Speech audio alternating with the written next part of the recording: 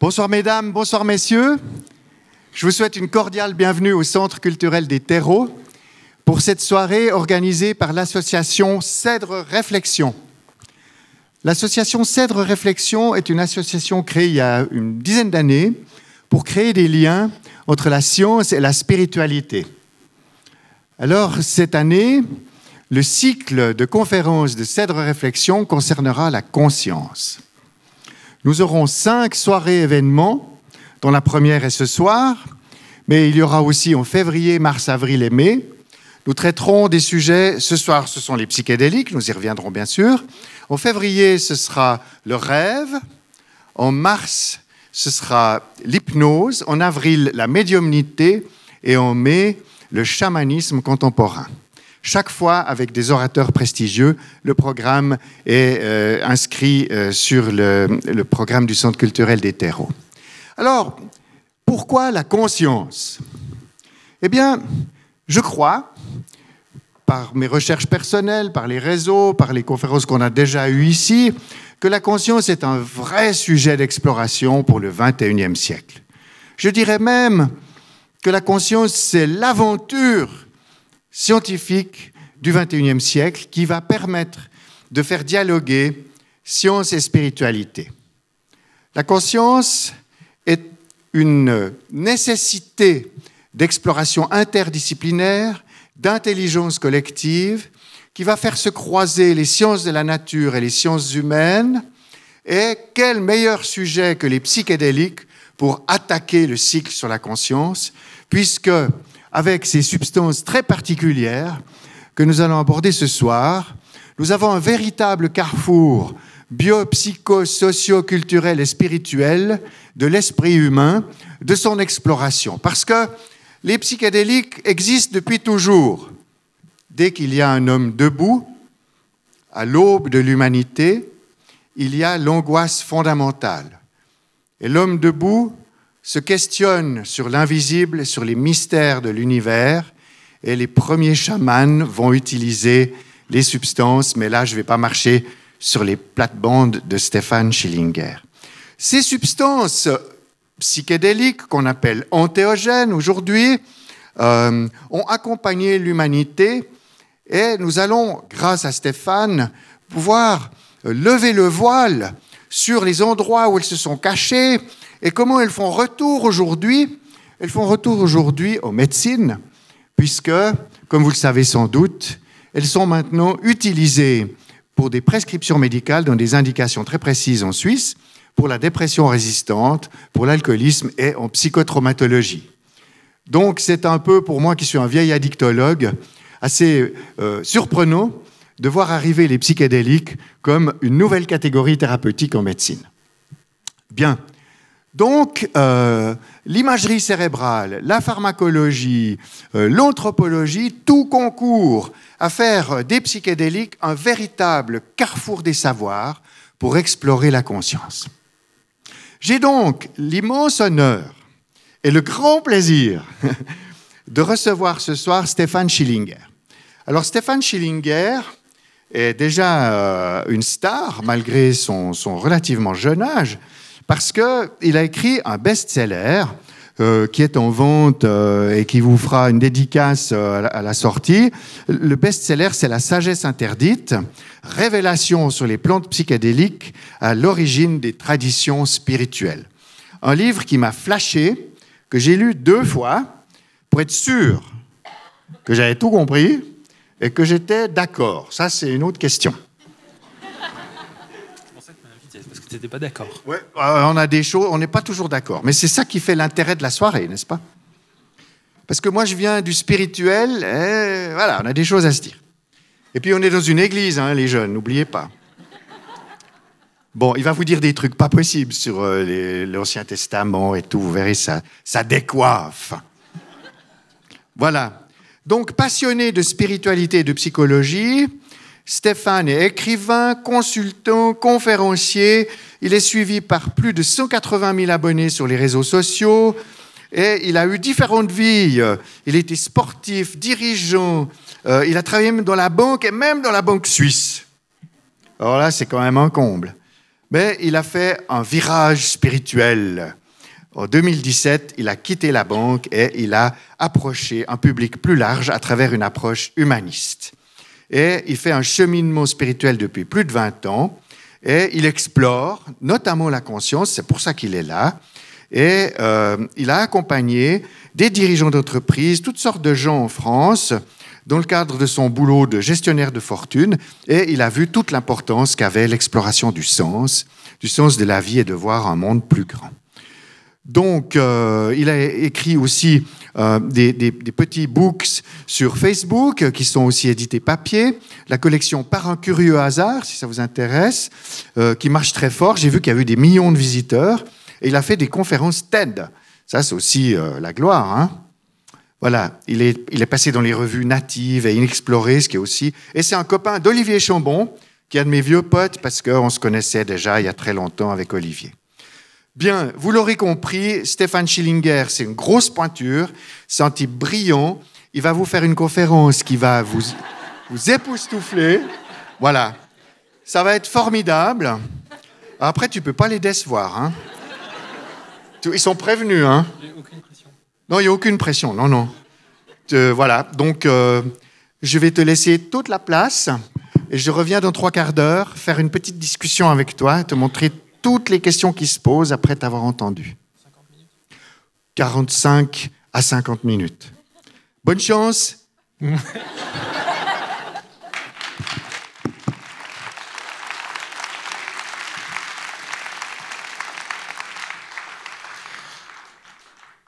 Bonsoir. Euh, merci Jacques pour euh, cette présentation qui ne me met aucune pression. Déjà que je suis un petit peu impressionné par euh, ben, la caractéristique euh, helvétique des conférences et du sujet, puisqu'il euh, rassemble beaucoup plus de monde que dans mon pays, en France, et, aussi par la ponctualité caractéristique. Hein. En France, on commence toujours une heure après l'heure avancée. Voilà. donc, je vais bah, justement vous parler un petit peu de, la loi française, parce que c'est toujours intéressant de voir comment ça se passe chez nos voisins. Euh, alors, en guise d'introduction, il va y avoir une ellipse juridique. Alors, j'ai conscience que ceux du fond n'arriveront pas toujours à tout lire, mais je vais le lire aussi pour vous. En tout cas, ce que nous dit la loi française, euh, elle va très loin elle nous dit que nous n'avons pas le droit de parler d'une substance illicite en termes positifs. Donc si par exemple quelqu'un vous dit euh, ben, le LSD c'est bien, il y a une dimension thérapeutique, euh, en France c'est puni de 75 000 euros d'amende et de 3 ans de prison. Quand bien même la science euh, le prouve de plus en plus. mais la loi va encore plus loin c'est que nous n'avons pas le droit de parler d'une substance légale et de lui prêter les mêmes propriétés qu'une substance illégale. Donc quelqu'un qui vous dirait, c'est pas moi, hein, mais quelqu'un qui vous dirait la noix de muscade est psychédélique, euh, ou le safran a une dimension potentiellement psychédélique, c'est puni des mêmes effets, 75 000 euros d'amende et 3 ans de prison. Donc tout ça pour vous dire que même si je suis sur le sol suisse, euh, cette intervention, cette conférence n'a aucune, euh, aucune dimension incitative ni euh, facilitatrice, hein, et en aucun cas euh, j'encourage la consommation de substances euh, illégales, quand bien même la Suisse a une approche qui est quand même beaucoup plus libérale et plus avant-gardiste que ses voisins. Puisque je dis toujours, hein, le, LSD est un petit peu votre patrimoine historique. Donc je vais me, limiter à une approche factuelle et informative. Je vais commencer, je vais essayer de tenir en 45 minutes. Euh, sinon, je serai interrompu par Jacques. Et euh, je vais commencer par juste une ellipse théorique avant de rentrer dans le vif du sujet, qui est peut-être la dimension historique et religieuse et spirituelle de ces outils de la nature. Et puis, et puis peut-être par une dimension un petit peu plus spéculative, et nous aurons euh, un échange peut-être riche en questions. Euh, une première notion que j'aime bien aborder, c'est la nuance entre euh, psychédélique et antéogène. Donc étymologiquement, psychédélique, délos, qui révèle, et psyché, l'âme ou euh, éventuellement l'esprit ou éventuellement la dimension inconsciente. Donc on est face à une substance qui soi-disant révèle le contenu de l'âme ou révèle du matériel inconscient. Euh, et on emploie parfois ce mot antéogène, donc vous aurez reconnu euh, dans le mot antéogène, comme dans théologie, Dieu, le divin, gène qui génère et en, en soi. Mais il y a aussi antéos, qui est l'enthousiasme grec, dans sa dimension plus poétique. Donc on serait en face d'une substance qui génère le sentiment du divin en soi. Et cette nuance, elle a été particulièrement mise à jour par euh, le législateur américain, qui face à un très fort mouvement euh, populaire de légalisation qui se, euh, qui se place derrière la liberté de conscience et la liberté de culte avec la liberté d'avoir son propre sacrement religieux, a fait une nuance entre antéogène et psychédélique. Et donc, un antéogène est une substance qui permet d'avoir des états élargis de conscience et qui a une utilisation traditionnelle et qui est naturelle. Donc, tombe sous le coup des antéogènes, par exemple tous les cactus à mescaline, les champignons à psilocybine, l'ayahuasca, euh, en grande partie l'iboga, et tomberait peut-être sous le coup des psychédéliques, toutes les choses qui, sortiraient plus d'un laboratoire comme la kétamine, le LSD, la MDMA, même si on les trouve en occurrence euh, naturelles. Et donc il y a cette notion, mais les deux notions peuvent s'enchevêtrer. Un psychédélique peut aussi être un antéogène, un antéogène peut être psychédélique, un antéogène peut aussi ne pas être psychédélique. En tout cas, tout ça pour vous dire qu'il y a une petite nuance, qu'elle est importante, parce que antéogène euh, implique un peu plus une dimension traditionnelle, euh, transcendantale et spirituelle. Alors pour démarrer, un petit dessin euh, que je vais vous traduire. Et donc on a un journaliste qui est prétendument euh, Graham Hancock, pour ceux qui connaissent, et qui demande à un natif, mais quel est le problème avec notre monde? Et le natif lui répond, vous avez coupé le lien avec l'esprit ou on pourrait même aller jusqu'à dire jusqu'à la nature. Euh, et donc c'est un petit peu ce qui se passe aujourd'hui dans cette, ce qu'on appelle cette renaissance psychédélique, qui est ce regain d'intérêt pour ces médecines, euh, ce qu'on appelle des médecines ancestrales, euh, où aujourd'hui cette renaissance est portée par deux grands mouvements. Un mouvement qu'on pourrait qualifier de strictement scientifique, à tendance parfois scientiste, euh, avec une approche matérialiste par opposition à ceux qui connaissent le post-matérialisme, et puis peut-être un autre mouvement euh, qui euh, est celui que j'ai cité juste avant, un mouvement qu'on pourrait presque qualifier d'antéogénique, qui va aborder la dimension des psychédéliques sous son aspect antéogène, avec peut-être une dimension plus transcendante et bien sûr post-matérialiste, où on va considérer qu'il existe quelque chose au-delà de cette réalité-là dont on est en train de faire l'expérience et dont les traditions spirituelles nous racontent presque tous qu'il s'agit d'une illusion. Je vous demande pas de lire ça, c'est trop petit mais euh, c'est juste un graphique qui va regrouper les psychotropes. Et ce qui est intéressant, c'est que on voit que les frontières entre les neuroleptiques, les dépresseurs, les stimulants, les hallucinogènes, les psychédéliques sont un peu poreuses. Donc la définition de ce qui est un psychédélique, de ce qui ne l'est pas, euh, n'est pas très claire selon du point de vue dans lequel on s'exprime, depuis lequel on s'exprime. Euh, et souvent, on dit qu'un psychédélique, c'est quelque chose qui vient élargir nos perceptions et qui agit sur le circuit sérotoninergique. Alors sans aller jusque dans le euh, certain réductionnisme, mais euh, l'idée est, juste de, s'apercevoir qu'il y a vraiment un enchevêtrement de diverses catégories, une certaine porosité. Je vais aborder la notion de dangerosité. Donc on a une phrase de Paracels qui décrit bien la chose. Tout est poison, rien n'est poison, c'est la dose qui fait le poison. Et pour illustrer euh, pour illustrer cette phrase de ce médecin considéré comme un des précurseurs de la médecine moderne au Moyen Âge, euh, eh bien tout simplement, 7 litres d'eau par heure est considéré comme une dose mortelle. Donc quand on boit de l'eau, on est face à quelque chose que, quand la dose n'est pas respectée, devient mortelle. Et, en, regard de cela, vous pouvez euh, être en présence de la drogue la plus puissante et la plus dangereuse du monde. Si la dose n'est pas suffisante, vous ne sentirez rien et il ne se passera rien. Donc en fait, tout est poison, rien n'est poison, c'est la dose qui fait le poison. Alors l'approche scientifique, afin d'essayer de mesurer la dangerosité d'une substance, va prendre plusieurs critères. On a certaines études qui vont regrouper 16 critères, mais je vais vous parler principalement très brièvement de 4 ou 5 critères. Le premier, c'est un ratio entre dose perceptible et létalité, mais dose mortelle. Donc on se rend compte que plus le ratio de perceptibilité d'une substance, euh, la, dose perceptible est proche de la dose mortelle, plus on aura un facteur de dangerosité. Euh, un, second facteur serait euh, le caractère addictogène d'une substance.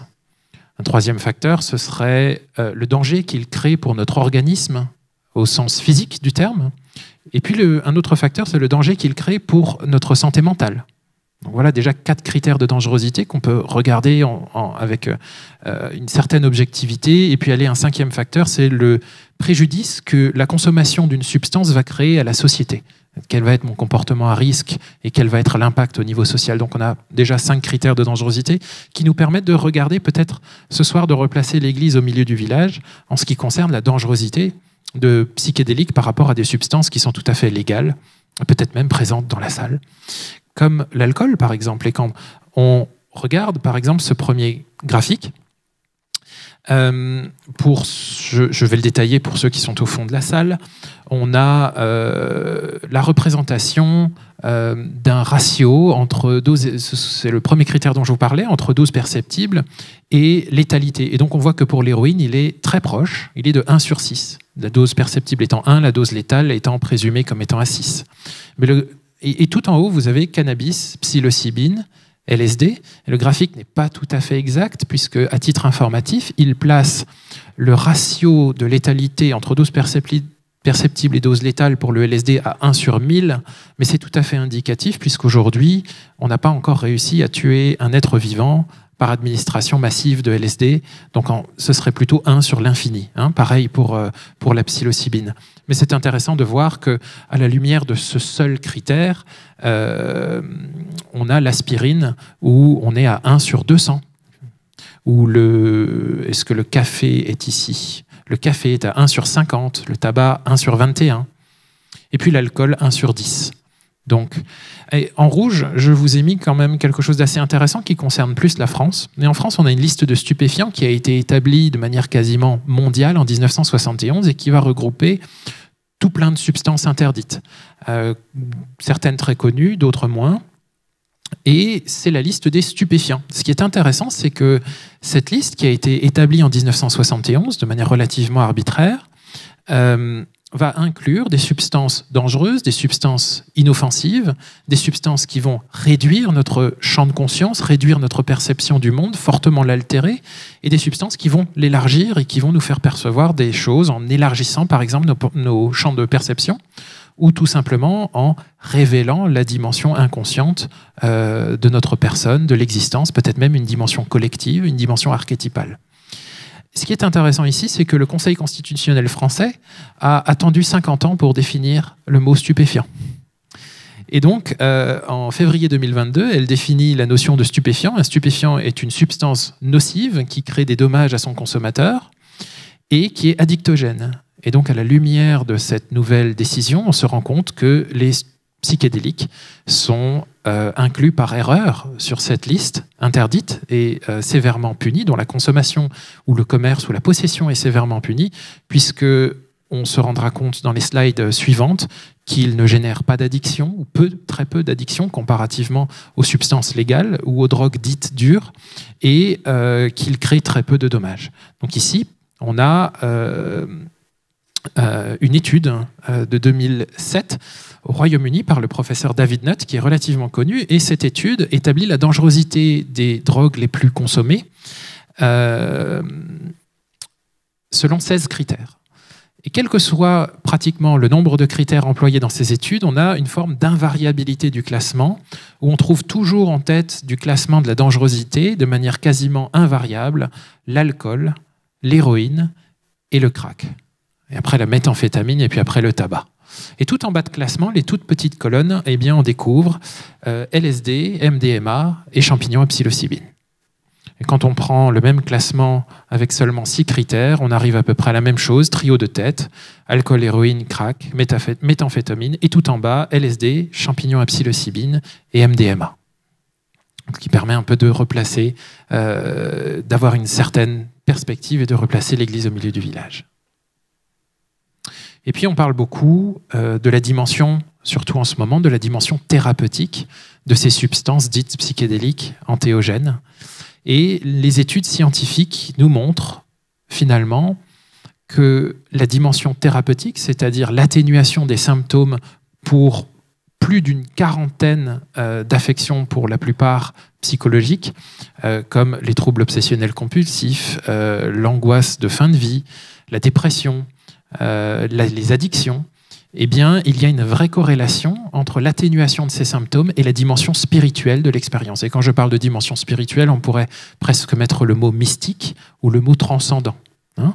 Par exemple, l'Organisation mondiale de la santé euh, définit, euh, enfin, statue que dans sa définition de la santé, il y a trois piliers physique, mental et social.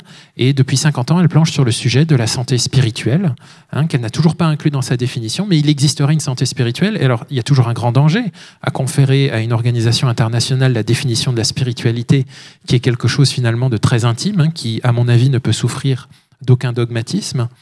Et pourtant, elle tente de définir ce qu'est la dimension spirituelle. Et donc, on retrouve très souvent dans la dimension spirituelle le mot de transcendant, c'est-à-dire l'accès à quelque chose de plus grand qui nous dépasse, dont le sens et l'intelligence nous dépassent. À titre personnel, très personnel, j'aime bien parler d'intelligence non humaine. Peu importe ce qu'on va mettre derrière ça. Et puis, donc, euh, on a quelques études. Alors, euh, on a plus d'une nombreuses études qui établissent une corrélation entre dimension spirituelle de l'expérience psychédélique et atténuation ou disparition des symptômes, notamment dépressifs ou anxieux. Hein, une étude de Roland Griffiths euh, nous explique en conclusion que lorsqu'elle est administrée dans des conditions de soutien, la psilocybine a occasionné des expériences similaires à des expériences mystiques spontanée. La psilocybine, pour ceux qui ne le savent pas, c'est la substance active psychédélique de ce qu'on appelle les champignons magiques que vous pouvez trouver, et qui bien sûr à ne pas ramasser, surtout pas. Une autre étude euh, de 2023 qui regroupait 985 participants nous dit le groupe qui a eu les expériences les plus perspicaces et mystiques et les expériences les moins difficiles, qui est un aspect contestable, les expériences les moins difficiles a montré le plus d'avantages en termes de rémission de symptômes d'anxiété et de dépression, et d'autres avantages plus durables. Hein, donc, euh, certaines personnes qui sont euh, familières des expériences psychédéliques euh, peuvent dire que plus l'expérience est difficile, puisque c'est pas toujours des expériences plaisantes, hein. ce sont des expériences très confrontantes puisqu'il y a un contenu euh, biographique ou archétypal ou symbolique qui est logé dans l'inconscient, qui peut faire l'objet de répression durant toute une vie, qui remonte à la conscience à partir du moment où l'expérience est vécue de manière suffisamment forte. C'est pas toujours agréable. Et on peut penser que plus l'expérience est difficile, plus on, fait face à un matériel inconscient qui, euh, finalement, à la lumière de la conscience, euh, se résout, se résorbe, fait l'objet d'une homéostasie et d'une résolution presque organique. Et finalement, cette étude nous raconte que plus l'expérience est agréable, plus les avantages sont perceptibles et durables. Et puis enfin, une, revue systématique qui, euh, qui euh, sur 12 études, a découvert, enfin, a statué que sur sur 12 études, 10 études ont établi une assimilation, une association significative de corrélation entre le caractère mystique, spirituel d'une expérience et euh, l'atténuation des symptômes. Elle nous dit l'expérience mystique était un prédicteur significatif de l'amélioration des résultats. Et puis on peut se demander, alors chacun va euh, parler de son expérience avec des psychédéliques ou des antéogènes, on entend tout, on entend n'importe quoi, le sensationnalisme lié à Internet ben, fait qu'on va trouver souvent euh, euh, ben, des choses, assez, surprenantes quand on va chercher. Alors on pourrait s'intéresser à peut-être une approche beaucoup plus phénoménologique de la qualité de l'expérience psychédélique. Alors il y a une association de dimension mondiale, une fondation qui s'appelle MAPS, euh, association multidisciplinaire pour les études psychédéliques, qui a interrogé 1000 consommateurs d'ayahuasca et on a tenté d'en extraire à travers un questionnaire qui s'appelle le MEQ 30, questionnaire d'expérience mystique, pardon, MEQ 130, 130 questions, qui sont là pour faire ressortir un petit peu le, euh, le contenu expérientiel d'une expérience, en tout cas le contenu mystique, et d'arriver à mesurer la dimension mystique d'une expérience. Et donc, on leur pose 130 questions et j'ai fait le travail pour vous. J'ai extrait de ce questionnaire les les questions qui remportaient le plus de suffrages pour essayer de qualifier de manière relativement autant que faire se peut objective. Ben, c'est quoi l'expérience de l'ayahuasca? Alors l'ayahuasca, pour ceux qui ne le savent pas, c'est à la fois un breuvage et une liane, euh, une liane endémique d'Amérique du Sud, et euh, qui est composée, euh, donc un breuvage qui est composé de cette liane, plus une autre plante, traditionnellement, mais pas toujours, qui s'appelle la chacruna, et qui contient la DMT, qui est un psychédélique endogène produit par notre corps, notamment au moment du décès. Il y a une très forte décharge de DMT et on suspecte d'ailleurs cette décharge dans le cerveau de ce neurotransmetteur d'être à l'origine des expériences de mort imminente. Euh, en tout cas, quand on compare, euh, quand on compare le contenu phénoménologique de l'expérience de mort imminente et celui de la DMT, on a vraiment un chevauchement assez marquant euh, des, des, caractéristiques rapportées de ces deux expériences.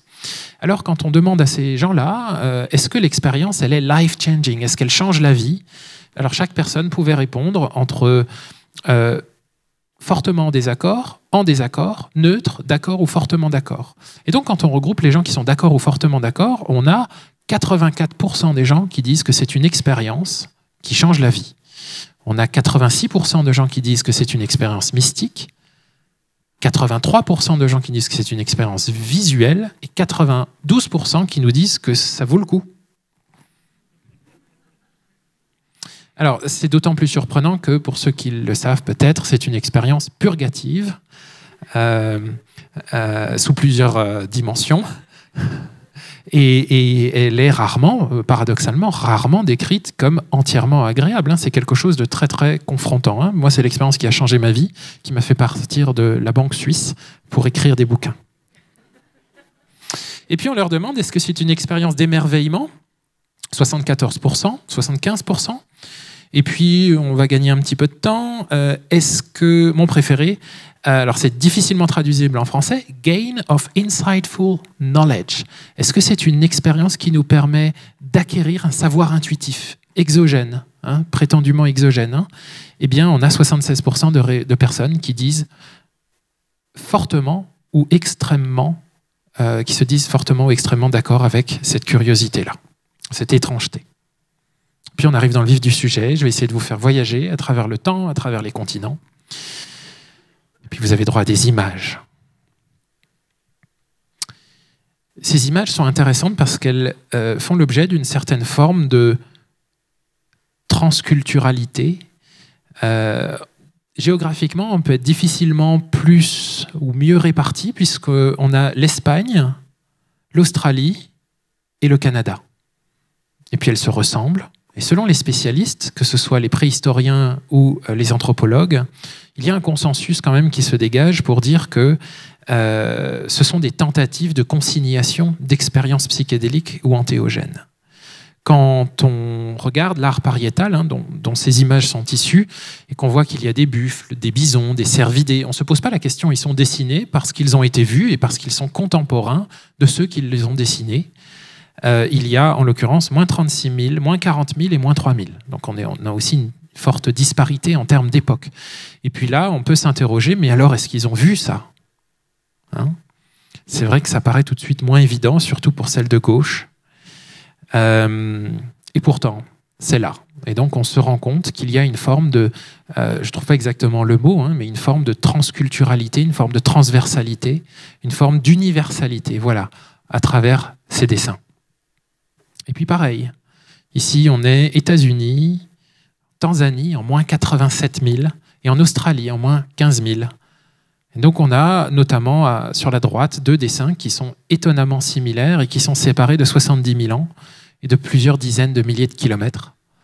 Et euh, bah, les spécialistes s'accordent pour dire que c'est une expérience, une tentative de consignation de ce que l'expérience d'ingestion de champignons dits magiques plus scientifiquement parlant, de champignons qui contiennent de la psilocybine, mais pas que, nous fait sentir. Certaines personnes, dont moi, parlent d'une expérience symbiotique.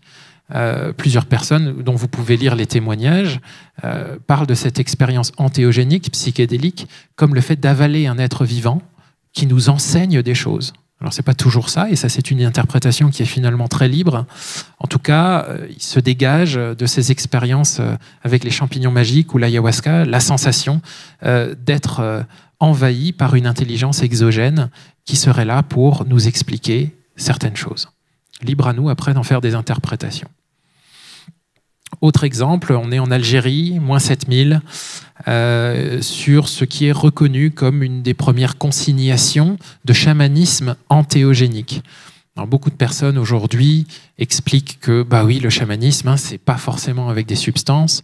Or, une approche plus scientifique, plus rationnelle, euh, nous montre que la présence d'antéogènes, de substances, euh, finalement, qui viennent élargir ou altérer la conscience, est finalement la règle, hein, puisqu'elle est présente dans plus de 90, présente et centrale dans plus de 90% euh, des chamanismes à travers le monde et à travers les époques.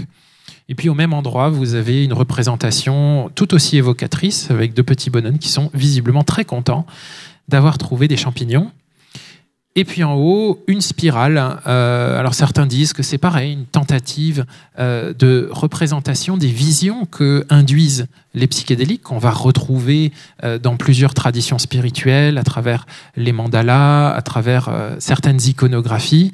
mais ça peut être aussi tout simplement un datura vu d'en bas.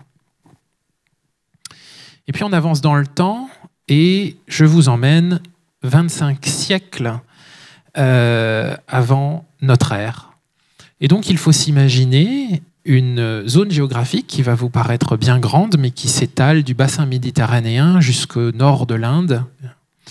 Et euh, il y a un point commun à ce moment-là, à cette époque, c'est euh, l'émergence de monothéisme. Euh, et surtout d'institutionnalisation des, des, pratiques religieuses.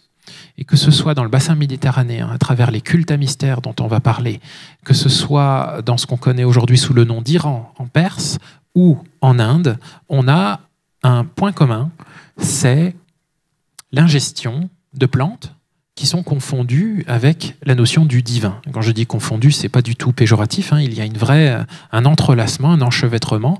Où, euh, bah, par exemple, dans le zoroastrisme, on a le prophète principal du zoroastrisme, zoroastrisme à travers leur bouquin à eux, qui s'appelle l'Avesta. Dans l'Avesta, vous avez le yasna, et dans le yasna, on a le prophète qui boit un breuvage composé de plusieurs plantes qu'on appelle Haoma. Et aujourd'hui, les spécialistes s'écharpent pour tenter de retrouver l'identité de Haoma. Il y a plus de 40 candidats avec un consensus qui se dégage pour deux candidats dont on va parler concernant bah, l'identité de ces plantes qui composent ce breuvage qui finalement est un breuvage Dieu. Hein. Quand on l'ingère, finalement, quelque chose nous parle et c'est prétendument Dieu qui nous parle. Au même moment, quasiment à, quelques siècles d'écart, en Inde, on a une religion qui s'appelle le védisme, qui est l'ancêtre du brahmanisme, qui deviendra plus tard euh, l'hindouisme. Et donc, dans le védisme, on a les Védas. Au sein des Védas, on a les Rig Vedas, qui sont ces bouquins. Et euh, le Rig Veda parle, dans plus d'une centaine de vers, d'un breuvage, c'est bizarre, euh, qui s'appelle Soma. Vous, remarquerez la proximité phonétique, soma, aoma.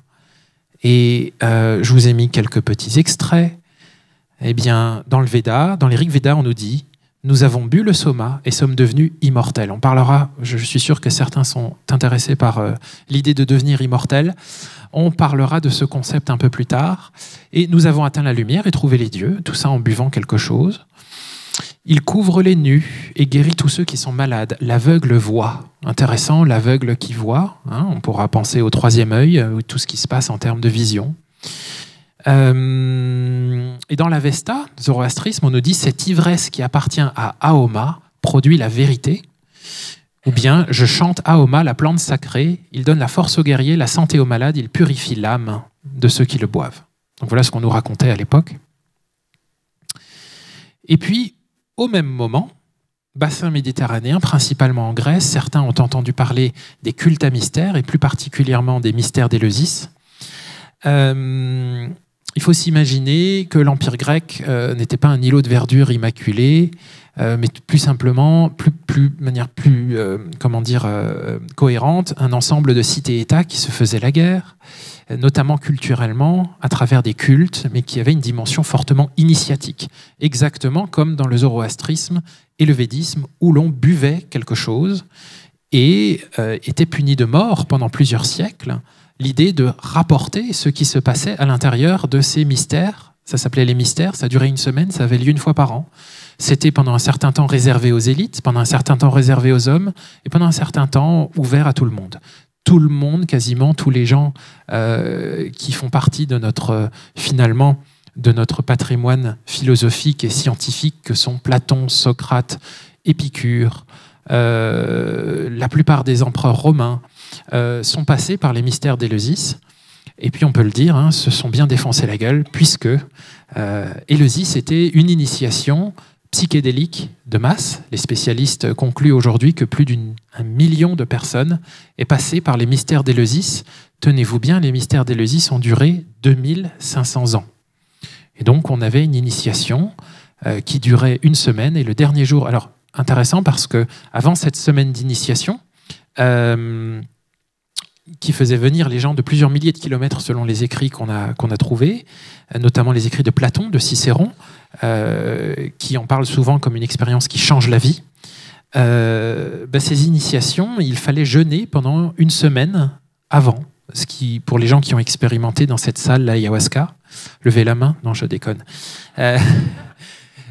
il fallait jeûner une semaine avant, et donc ça peut faire penser à certaines traditions psychédéliques où on se rend compte effectivement que cette expérience de manifestation relativement forte hein, du contenu biographique personnel, voire même du contenu archétypal euh, de tout un groupe social et d'expériences spirituelles très fortes et transformatives, est étroitement dépendante bah, de comment on se sent finalement, qu'est-ce qu'on a mangé.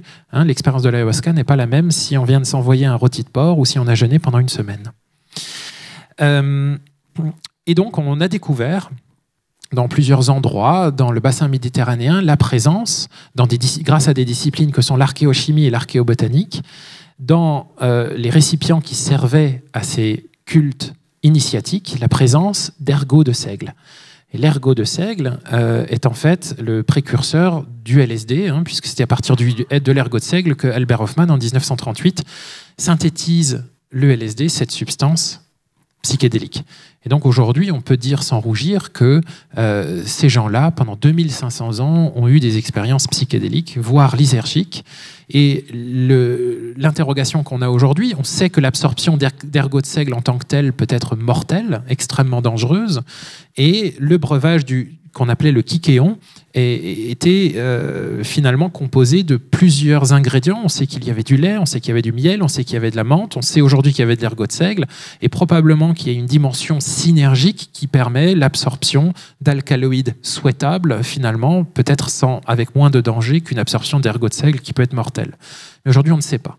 Et pour revenir à euh, Soma et à Oma, donc les spécialistes s'interrogent sur les candidats qui ont composé ces breuvages hautement psychédéliques et antéogènes. Aujourd'hui, ce qui s'en dégage, il y a une forte suspicion, comme on le voit sur l'image de gauche, que le candidat, c'est l'Amanita muscaria, c'est Amanite tumouche, donc le champignon rouge à point blanc, ou bien certaines personnes dont je fais partie penchent plutôt sur l'hypothèse de l'anahuasca, on a vu ensemble ce que c'est que l'ayahuasca, eh bien, l'anahuasca, ce serait des analogues à l'ayahuasca, puisque l'ayahuasca est composé euh, d'une plante qui contient de la DMT et d'une plante qui va empêcher sa dégradation trop rapide par l'organisme, eh bien, il existe au Moyen-Orient et puis même euh, sur notre continent des plantes qui reproduisent les mêmes interactions, c'est-à-dire une plante qui contient des inhibiteurs de monoaminocidase et une plante qui contient euh, des plantes, de nombreuses plantes qui contiennent cette molécule psychédélique endogène qui s'appelle la DMT. Voilà. Et puis on avance un petit peu. Dans le yoga, hein, il fut un temps où le yoga n'était vraiment pas distinct des consommations antéogènes, puisque la première personne qui a écrit sur le yoga, c'est Patanjali, a écrit euh, vers le IVe siècle les sutras de Patanjali, et il nous écrit les pouvoirs, donc les siddhis, sont innés ou engendrés par l'utilisation de plantes, de mantras de la pratique du yoga ou de la méditation. Et donc à cette époque, euh, et puis depuis longtemps d'ailleurs, on ne partageait pas le même mépris euh, que nous avons aujourd'hui pour les substances qui viennent altérer la conscience. Au contraire, elles étaient au centre de pratiques yogiques et méditatives. Et puis on a un auteur contemporain qui nous dit aucune exploration du yoga et de la méditation ne serait complète sans un regard sur la lignée de plantes et d'herbes sacrées qui, selon beaucoup, sont à l'origine de l'expérience religieuse et de la spiritualité. Beaucoup d'entre nous ont déjà vu ces représentations de bouddhéité ou de divinité dans l'hindouisme euh, avec des parasols. Alors euh, évidemment, les dieux ne sont pas contraints de se protéger du soleil avec des parasols, mais on apprend qu'en fait, à cette époque-là, hein, principalement, alors ces représentations-là sont un petit peu plus fréquentes entre le Xe et le XIIIe siècle, et on se rend compte qu'en fait, on n'avait pas le même savoir qu'aujourd'hui, notamment en termes de séparation des règnes fongiques et, euh, et végétales, et que tout cela était inclus euh, sous une même considération, c'est-à-dire la considération végétale. Et c'est intéressant de voir qu'en sanskrit, il n'y avait pas de mot pour dire champignon, on appelait parasol ce qui peut fournir euh, un petit peu d'eau au moulin de l'interprétation de euh, la surreprésentation du parasol dans les représentations euh, de divinité dans l'hindouisme. Et parfois, c'est beaucoup plus explicite. Hein. Donc, parfois, alors là, je ne sais pas si vous voyez bien tous, mais on a en fait de très, très, très nombreuses représentations de Bouddha avec des champignons très caractéristiques hein, qui, ne, qui ne laissent le champ à aucune confusion. Voilà. Puis on va rentrer dans un sujet qui vous intéresse peut-être un peu plus. Euh, celui de la présence potentielle, enfin non, certaine et attestée, de psychédéliques dans la Bible. Alors dans la Bible, on a 206 plantes. Sur ces 206 plantes, il y en a à peu près 90 qui, font consensus auprès des spécialistes.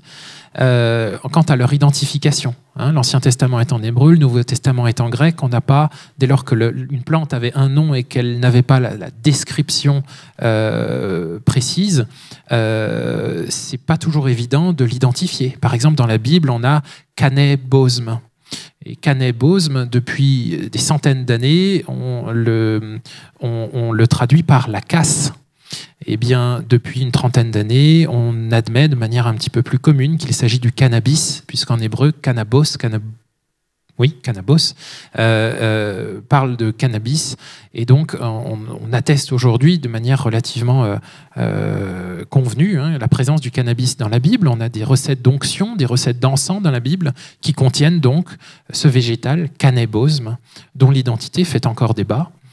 Et puis ici, je vous ai mis une petite représentation d'Ézéchiel, quand on ouvre la Bible et qu'on essaye de s'affranchir d'une vision euh, religieuse, mais peut-être un peu plus euh, prétendument rationnelle ou phénoménologique du contenu de l'expérience d'Ézéchiel, eh bien on a un gars, un prophète, on parlera de la dimension prophétique un peu plus tard, qui voit des roues de fer descendre du ciel dans une grande nuée ardente, et de cette roue de fer, des êtres en sortent, un être en sort, il a quatre visages, et une voix commence à communiquer avec lui dans sa tête, eh bien, euh, euh, moi, il m'apparaît quand même, c'est une interprétation tout à fait personnelle, mais je ne suis pas le seul, qu'il aurait pu être sévèrement défoncé.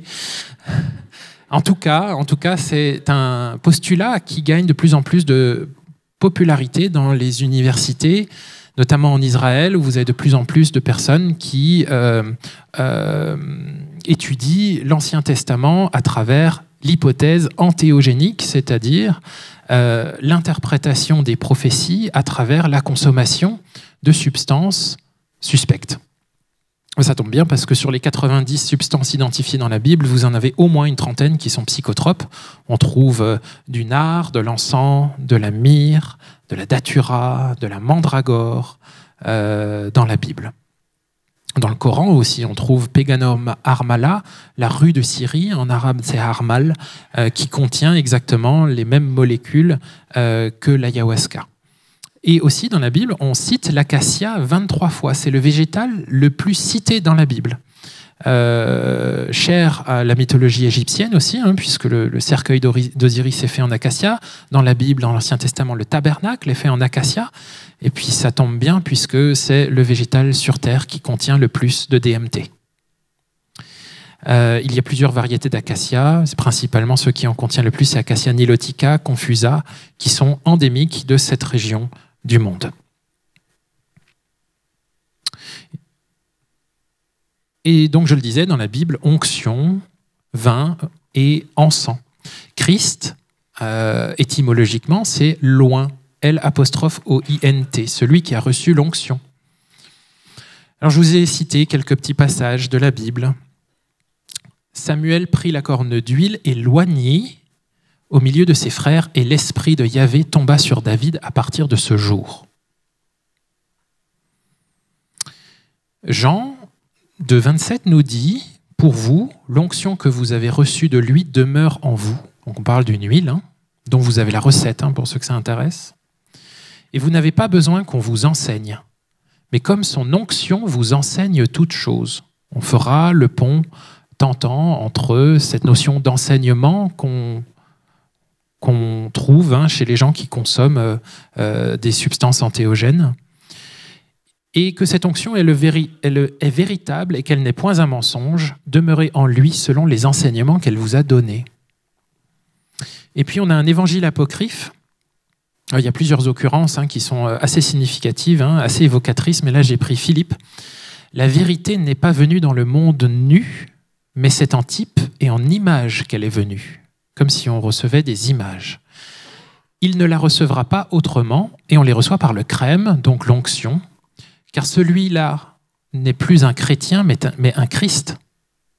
Celui qui a reçu le crème possède toute chose. Il possède la résurrection, la lumière et la croix. Donc voilà des, passages euh, qui nous parlent euh, d'une onction qui aurait des effets relativement étranges quand même, hein, puisqu'on parle aussi beaucoup dans la Bible de cette notion d'immortalité. Et c'est peut-être le moment d'aborder cette notion. Alors l'immortalité, ben, de manière dans la culture populaire, ben, on s'imagine ben, que quelqu'un qui est immortel, c'est quelqu'un dont le cœur, le, corps finalement ne pourrit pas. Or, à travers les traditions, les traditions spirituelles, on peut regarder l'immortalité dans une manière beaucoup plus nuancée. Les gens qui vivent des expériences psychédéliques dissolutrices, c'est-à-dire avec la sensation de mourir, et euh, on accède, si vous voulez, à une expérience de mort. Et finalement, après le vécu de cette mort, quand l'expérience psychédélique ou antéogène est vécue dans les bonnes conditions et à dose suffisante, eh bien quelque chose persiste la conscience. Comme les gens qui reviennent d'une expérience de mort imminente, c'est je suis mort. D'ailleurs, il y a des mesures, puisque c'est un sujet qui est quand même beaucoup plus étudié, des mesures de la mort clinique de certaines personnes, et pourtant, quelque chose subsiste, c'est la conscience. Et c'est peut-être ça que je vous invite à considérer comme l'immortalité. C'est pas le fait que le corps ne meurt pas, c'est que quand le corps meurt, quelque chose subsiste. Et ces expériences-là, transcendantes, qu'on retrouve dans la Bible, mais dans beaucoup d'autres religions, dans quasiment toutes les traditions spirituelles, on le verra plus tard, euh, nous font accéder à un état de conscience qui montre qu'après la mort, finalement, on ne meurt pas. Et les gens qui ont euh, écrit sur, sur euh, parlent de mourir avant la mort. Et puis le vin, le vin, il faut bien sûr s'imaginer qu'il n'avait rien à voir avec le jus de raisin fermenté aujourd'hui, même s'il était fermenté. Par exemple, la mesure du taux d'alcoolémie n'a que 150 ans. Hein, donc c'était un processus euh, qui n'était pas très bien mesuré il y a 2000 ans. On sait aujourd'hui à travers euh, plusieurs écrits que le vin était hautement psychédélique et qu'il avait une fonction spirituelle. Hein. Euh, la manière de consommer le vin aujourd'hui est peut-être un peu moins spirituelle, mais le vin avait une vraie fonction. Et on connaît aujourd'hui, euh, notamment à travers des auteurs comme Discoride, un des premiers médecins, euh, contemporains d'ailleurs, je crois, de Jésus, ou pas loin du tout, 56 recettes de vin avec des, composants hautement hautement psychédéliques, donc dans lesquels rentraient notamment le datura, la belladone, la mandragore, la myrrhe, l'encens, etc., etc. On pourrait aussi regarder, ou en tout cas s'amuser à envisager euh, un des miracles de Jésus, qui est la transformation de l'eau en vin, hein, aux noces de Cana, où tout le monde se faisait chier parce qu'il n'y avait pas d'eau, parce qu'il n'y avait pas de vin. Et donc lui, il vient. Et puis, euh, intéressant, c'est que en mythologie comparée, il y a vraiment des passerelles assez troublantes entre Dionysos, Mitra et Jésus. Et avant Jésus, Dionysos était, après sa résurrection, le premier à changer l'eau en vin. Sauf que Dionysos était le dieu du vin, des orgies, des excès, de l'extase. Et on sait que euh, les vins, aujourd'hui on le sait de manière très, très formelle, hein, que les vins qui étaient consommés dans les bacchanales ou les dionysiales étaient hautement psychédéliques, puisque certains mouraient hein, euh, de ces, de ces expériences-là. Eh bien, Dionysos changeait déjà l'eau en vin, probablement pas en, en jus de raisin fermenté, mais en quelque chose de beaucoup, beaucoup plus psychoactif. Et puis dans l'art roman, à travers l'époque, hein, on a un ouvrage très sérieux des époux Brown, euh, des universitaires de Floride qui ont sillonné l'Europe. Ils se sont payés deux ans de vacances et pour aller visiter les sites romans euh, où le, la présence de champignons euh, psychoactifs était, euh, était assez, assez, euh, assez présente finalement. Donc là, on a, je ne sais pas si c'est le, le, retour de Jésus à Nazareth ou à Jérusalem. En tout cas, il a l'air bien content qu'on l'accueille avec des champignons. Et puis, on a, euh, on a plusieurs représentations euh, d'Adam et Ève et de l'épisode euh, du fruit défendu. Alors, ça fera sourire certains, mais la tentation d'Ève se fait par un serpent. Or, dans le contenu phénoménologique de l'expérience d'ayahuasca, il y a une très très nette surreprésentation des visions de serpents. Et puis, intéressant, petite anecdote, la première fois que Dieu s'adresse à l'homme, la première fois qu'il prend la parole pour s'adresser à Adam et Ève, il leur dit Tu mangeras de tous les arbres du jardin. Mais tu ne mangeras pas euh, le fruit de l'arbre de la connaissance du bien et du mal. Et puis le serpent répond Vous ne mourrez certainement pas, car Dieu sait que le jour où vous en mangerez, alors vos yeux s'ouvriront et vous serez comme des dieux. Et donc là, on a deux représentations euh, où euh, donc c'est à plein courroux en Indre-et-Loire euh, et l'autre dans un psautier du XIIe siècle où l'arbre de la connaissance du bien et du mal ressemble étrangement à un amanite tumouche, donc ce champignon rouge à point blanc. Mais aussi plein d'autres représentations de champignons, notamment cathédrale de Chartres, et puis ici aussi où où ben il y a euh, comment dire une personnification euh, d'une plante, par exemple.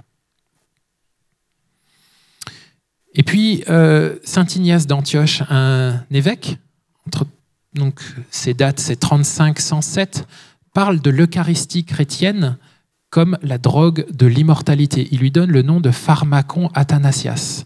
Pharmacon est un mot grec qui porte en lui un double sens. C'est à la fois remède et poison. Hmm? On retrouve cette notion peut-être de dose et d'ambivalence d'une substance qui peut à la fois guérir et à la fois tuer. Et un antidote, il parle de l'Eucharistie comme un antidote et un poison capable de générer la mort comme la vie éternelle. Et peut-être que les deux se retrouvent au même endroit.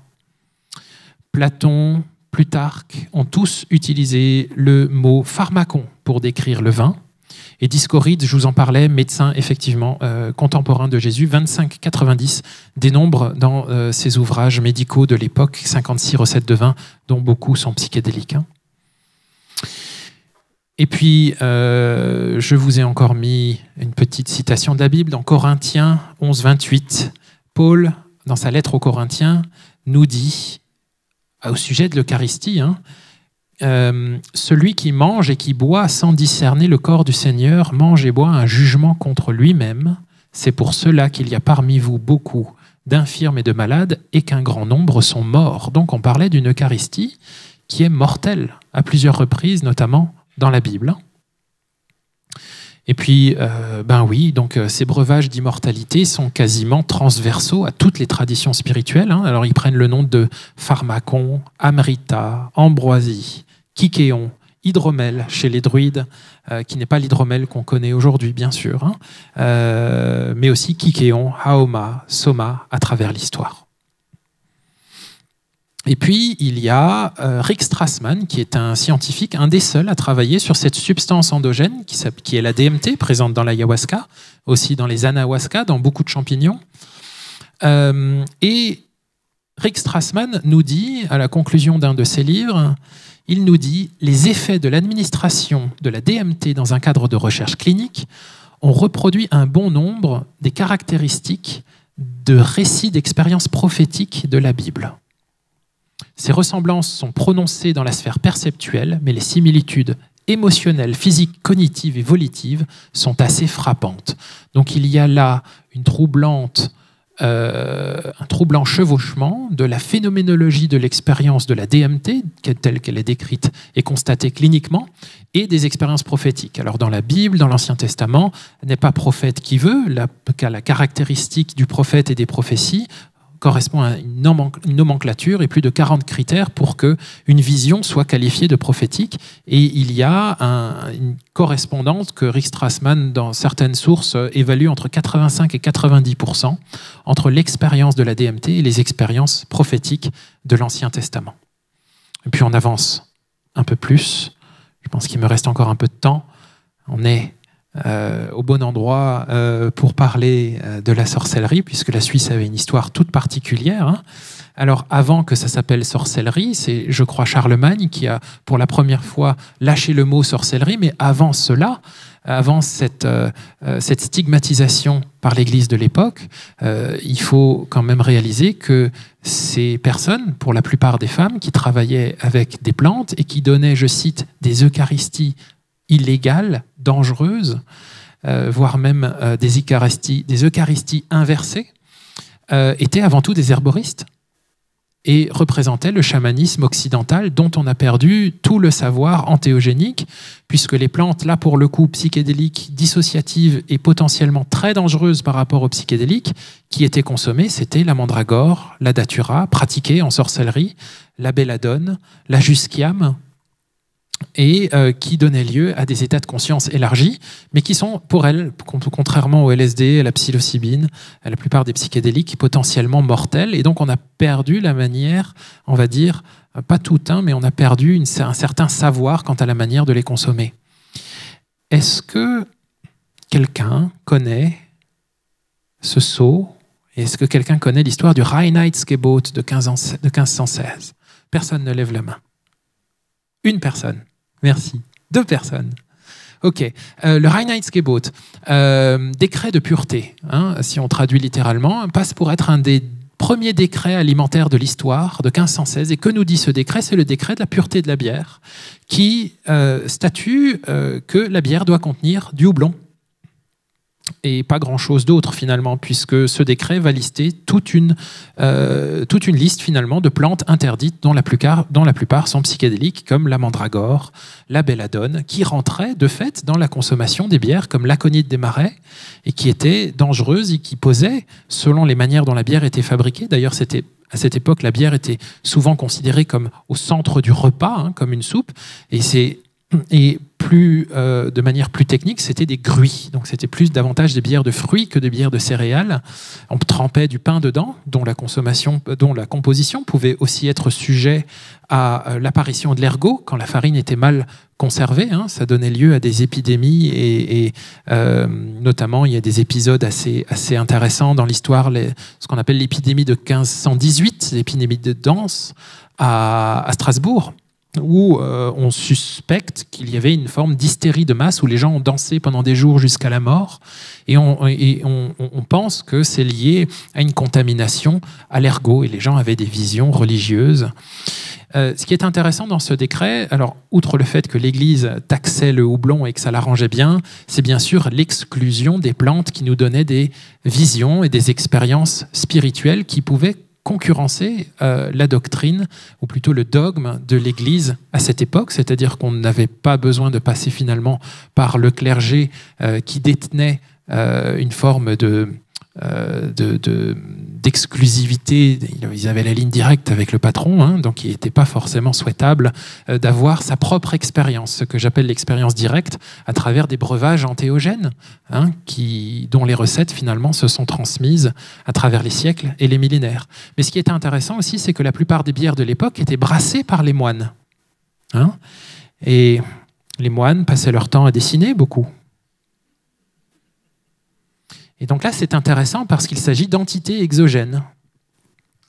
Alors quand on regarde le contenu phénoménologique euh, de l'expérience psychédélique procurée par l'ayahuasca ou les champignons, et quand on essaye d'approcher ça avec une méthode scientifique, on a une vraie surreprésentation de l'apparition d'entités.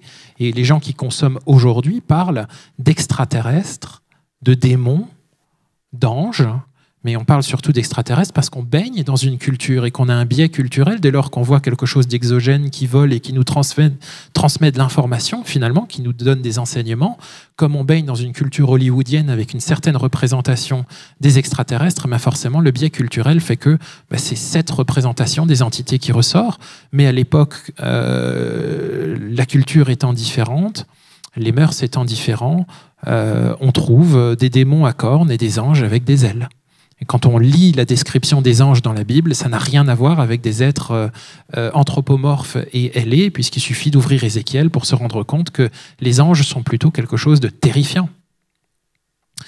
Et puis, alors ça va être difficile à lire pour vous, mais ça, c'est une tentative de reproduction de l'arbre des religions. Alors il y a 25 000 religions aujourd'hui, mais ça c'est une tentative de, représentation euh, des religions où, euh, je vous le décris, le socle c'est le chamanisme et l'animisme, hein, qui est situé ici sur ce graphique à moins 100 000, mais probablement beaucoup plus ancien. Et puis on a les branches qui partent vers plusieurs régions du monde, et les grandes religions, vers le milieu du graphique, donneront lieu aux religions qui sont beaucoup plus récentes euh, en haut du graphique. En tout cas, c'est une représentation qui est intéressante parce que quand on se penche sur les preuves de sacrements antéogènes au sein de toutes les religions, on va mettre un petit point vert sur les religions. Quand on a une forte suspicion, on va mettre un point jaune. Et quand on n'a pas de preuves, on met rien. Et voilà ce que ça donne. Donc on se rend compte, à travers une approche qu'on aime être objective, que euh, voilà, quand on fait l'alternance, hein, euh, il y a bien sûr une forte, très forte euh, euh, proportion de ces religions qui avaient un sacrement antéogène dans leur rituel. Voilà, j'aime bien terminer sur cette petite image.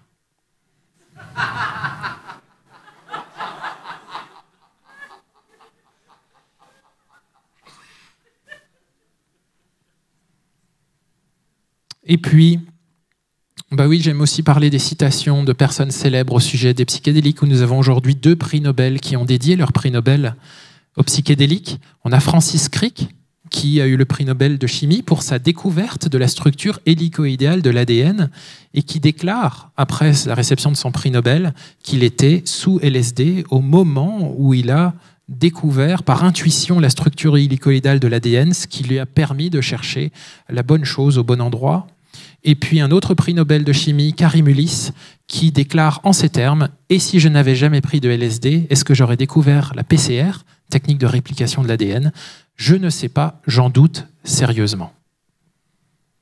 Voilà, en guise de mot de la fin, pour ceux qui souhaitent s'informer, euh, je propose ici des ouvrages, forcément les miens, euh, dont le prochain sort le 11 janvier, euh, coécrit avec le psychiatre Olivier Chambon, c'est Psychédélique entre science et spiritualité, La sagesse interdite qui est disponible ici et dont je propose la dédicace.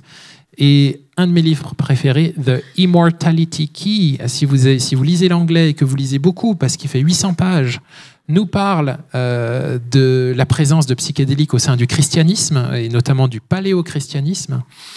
Et puis pour ceux qui n'aiment pas lire, il y a les documentaires Netflix Voyage aux confins de l'esprit euh, qui sont absolument fantastiques. Et petite dédicace à Olivier Chambon dans son livre L'éveil psychédélique, qui parle de l'usage des antéogènes et des psychédéliques à des fins spirituelles. Merci.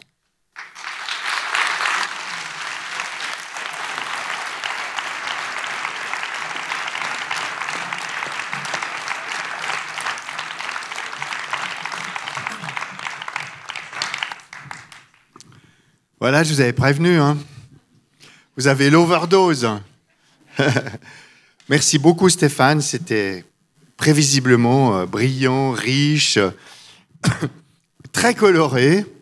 Et puis tu as dit des choses énormes aussi. Hein, donc, euh, ouais, ouais, ouais, ouais. Écoute, euh, moi, on, va, on, va, discuter les deux cinq minutes, puis après on passera la parole au public. Quand même, quand on, prend du recul par rapport à, ce, fleuve d'informations sur les antéogènes dans l'histoire des spiritualités et des religions, euh, moi je me rappelle ce qu'on ce qu'on dit à l'université, euh, au département d'écologie et évolution, quand on a commencé à parler de, de spiritualité dans le cerveau. Hein, les collègues, ils disaient Ouais, mais alors bon, ton bon Dieu, hein, il est dans le cerveau alors. Donc du coup, je trouve que ce, fleuve d'informations sur les entéogènes dans, les cultures du monde, finalement, ça pose cette question. Est-ce que finalement, toutes les spiritualités et religions sont des effluves des substances entéogènes sur les cerveaux humains et que notre culture était conditionnée par, dans le fond, des illusions? Donc du coup, est-ce que le divin serait une illusion? Version A. Donc du coup, c'est la version neurothéologie, hein, que tu as, cité Eric Strassman. Olivier Chambon dit aussi ça. C'est dans le fond, le cerveau produit des machins et puis Dieu est une invention. Voilà. Mais il y a la version B qui dit le contraire qui dit, oh là là là là là là, pas du tout.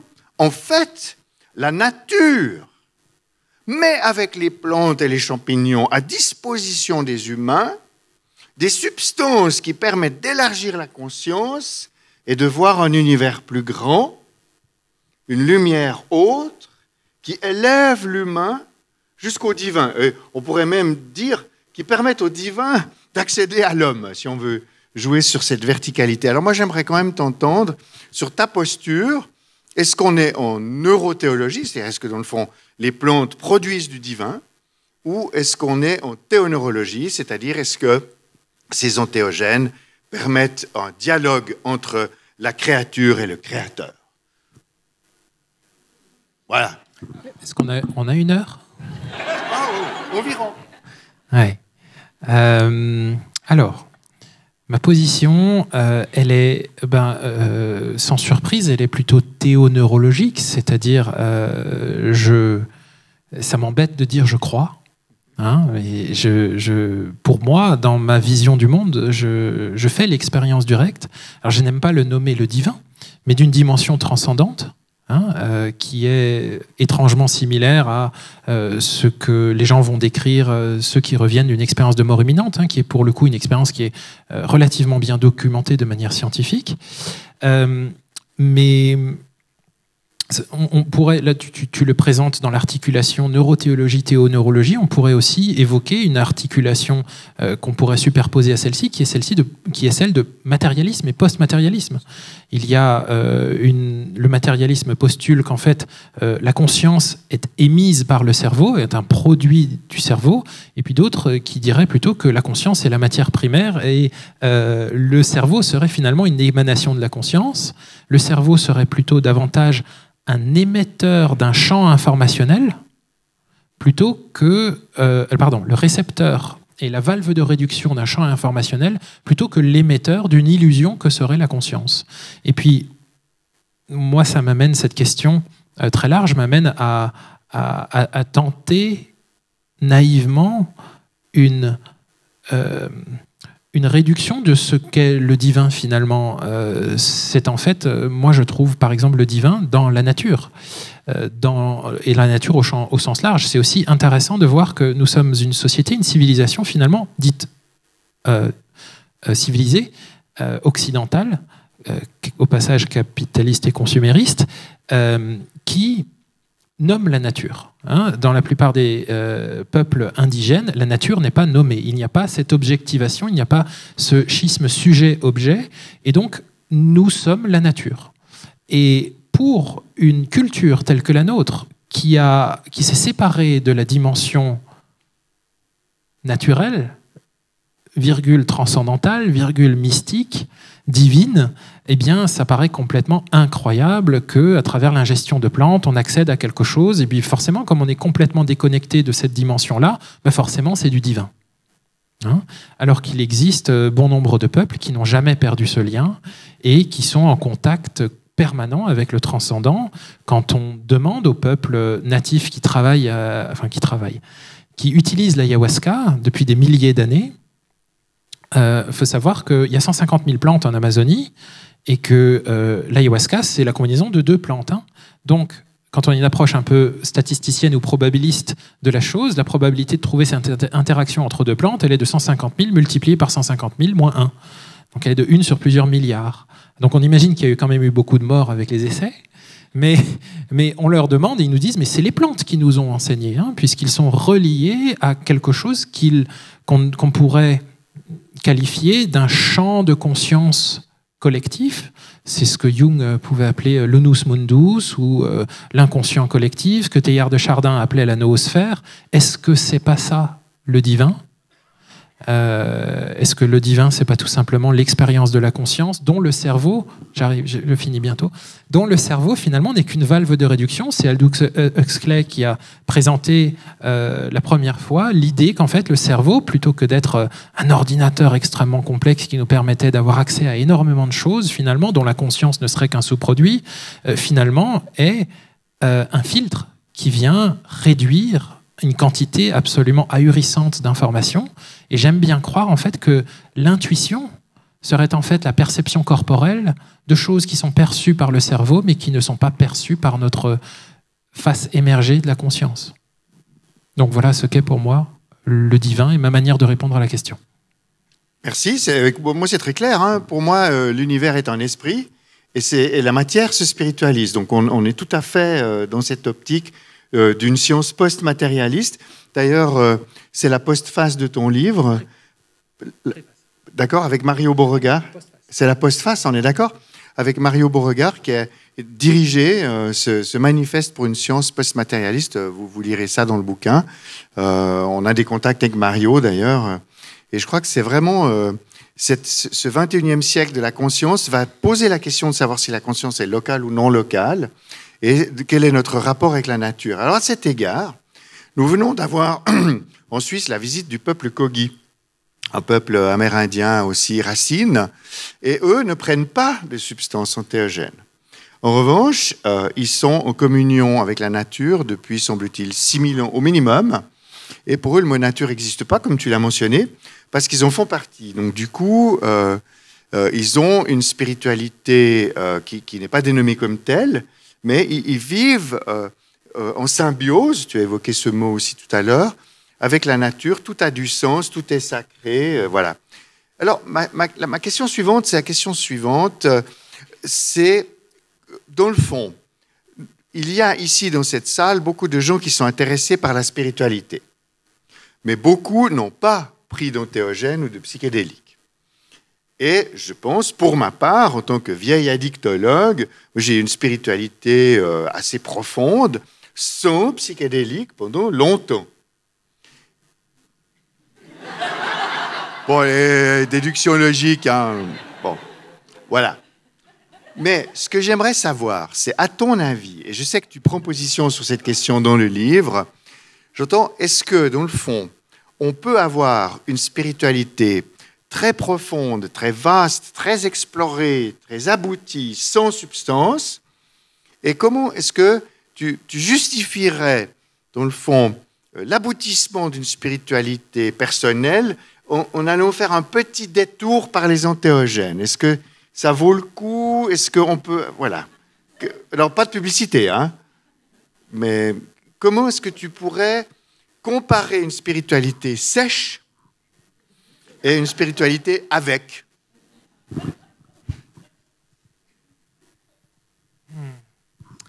Euh, je répondrai en partie avec une métaphore que j'ai dans mon livre, hein, qui est la métaphore de l'ascension de l'Everest. Hein. Euh, donc certaines personnes s'y préparent toute la vie. je ne sais pas si vous savez, mais sur les pentes de l'Everest, en haut, c'est un charnier. Parce que les gens meurent en faisant cette ascension et on n'a pas les ressources euh, ni l'énergie, euh, ni le courage de les redescendre. Et c'est très, très, très pollué parce qu'on laisse ses bagages. Hein. Métaphoriquement, c'est très intéressant aussi dans cette ascension. Euh, et donc, des gens font un cheminement spirituel qui est tout à fait respectable dans une voie sèche, telle qu'on pourrait l'appeler, avec peut-être une, métaphore alchimique. Euh, et peuvent arriver à trouver des états modifiés de conscience très intenses dissolutif, hein, à travers le chant, le tambour, la méditation, le jeûne, la privation sensorielle, la danse, la prière, la, souffrance.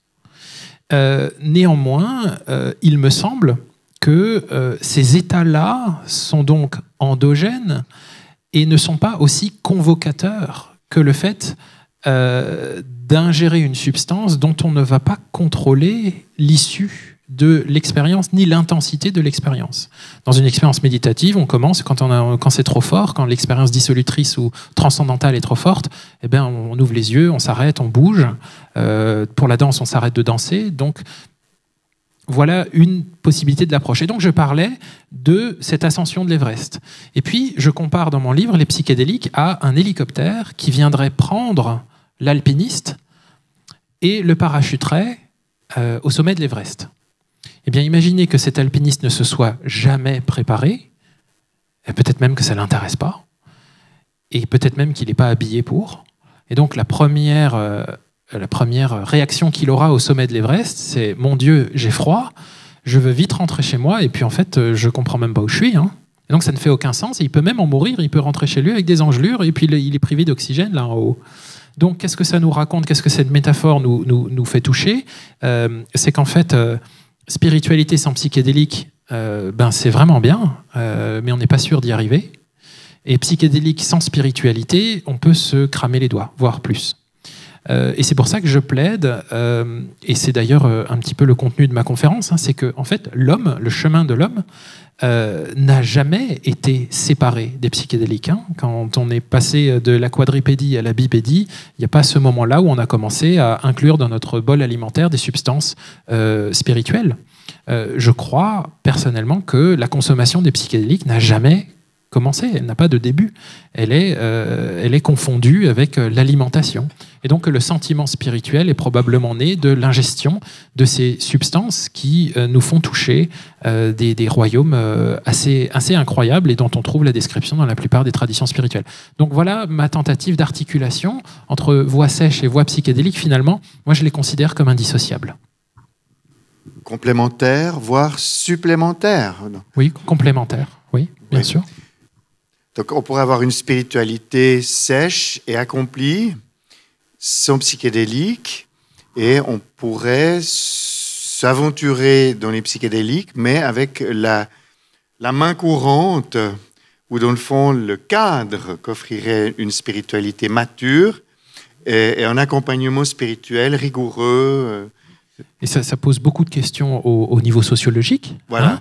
mais un truc important aussi à dire, c'est que quand on consomme un antéogène, euh, beaucoup de personnes racontent être en contact avec le royaume végétal, ou être en contact avec le royaume fongique, ou être en contact avec quelque chose d'exogène. Et euh, j'imagine qu'une, puisque là par convention on l'appelle la voie sèche, hein, euh, qu'il n'y a pas forcément ce contact interrègne et cette symbiose interrègne lorsqu'on ne consomme pas euh, d'antéogène. Donc l'antéogénisme finalement est très proche d'une symbiose entre plusieurs espèces dont on n'imagine pas la consommation possible et on n'avait pas vu ce, cousinage entre l'humain et le, champignon, entre le végétal et l'animal. Et dans le fond, ton livre, les travaux récents, les neurosciences, la pharmacologie nous montrent cette familiarité qu'on retrouve. Alors ça pose une question quand même, et ce sera ma troisième et dernière question, avant que le public prenne le micro baladeur. Dans le fond, euh, c'est pas dangereux, il n'y a pas de mort, c'est pas addictogène, c'est bénéfique en termes de santé publique, de santé mentale. Alors bon, on va libéraliser alors. Qu'est-ce qu'on fait? Alors, c'est une vraie question, hein parce que pour le moment, c'est au compte-goutte, c'est dans certains pays, notamment en Suisse, il y a un contrôle fédéral strict avec des licences euh, individuelles pour des indications. Donc, c'est les médecins qui tiennent euh, le, le bâton. Et euh, il y a quelques psychologues qui sont autorisés à faire de la psychothérapie d'accompagnement dans le cadre d'une prescription médicale.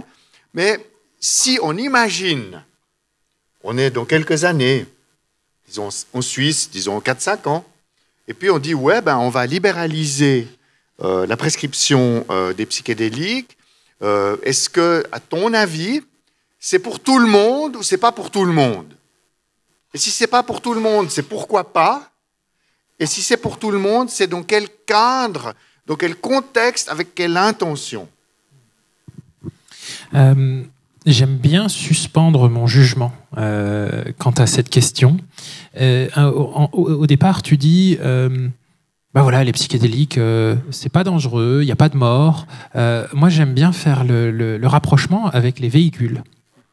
C'est pas dangereux, il n'y a pas de mort. Ben, en fait, si, mais c'est pas euh, dangereux pour autant, mais ça peut l'être. Hein, en fonction de comment on l'utilise. Est-ce que d'ailleurs, est-ce qu'on a un permis, on n'a pas de permis, est-ce qu'on respecte le cadre, la réglementation?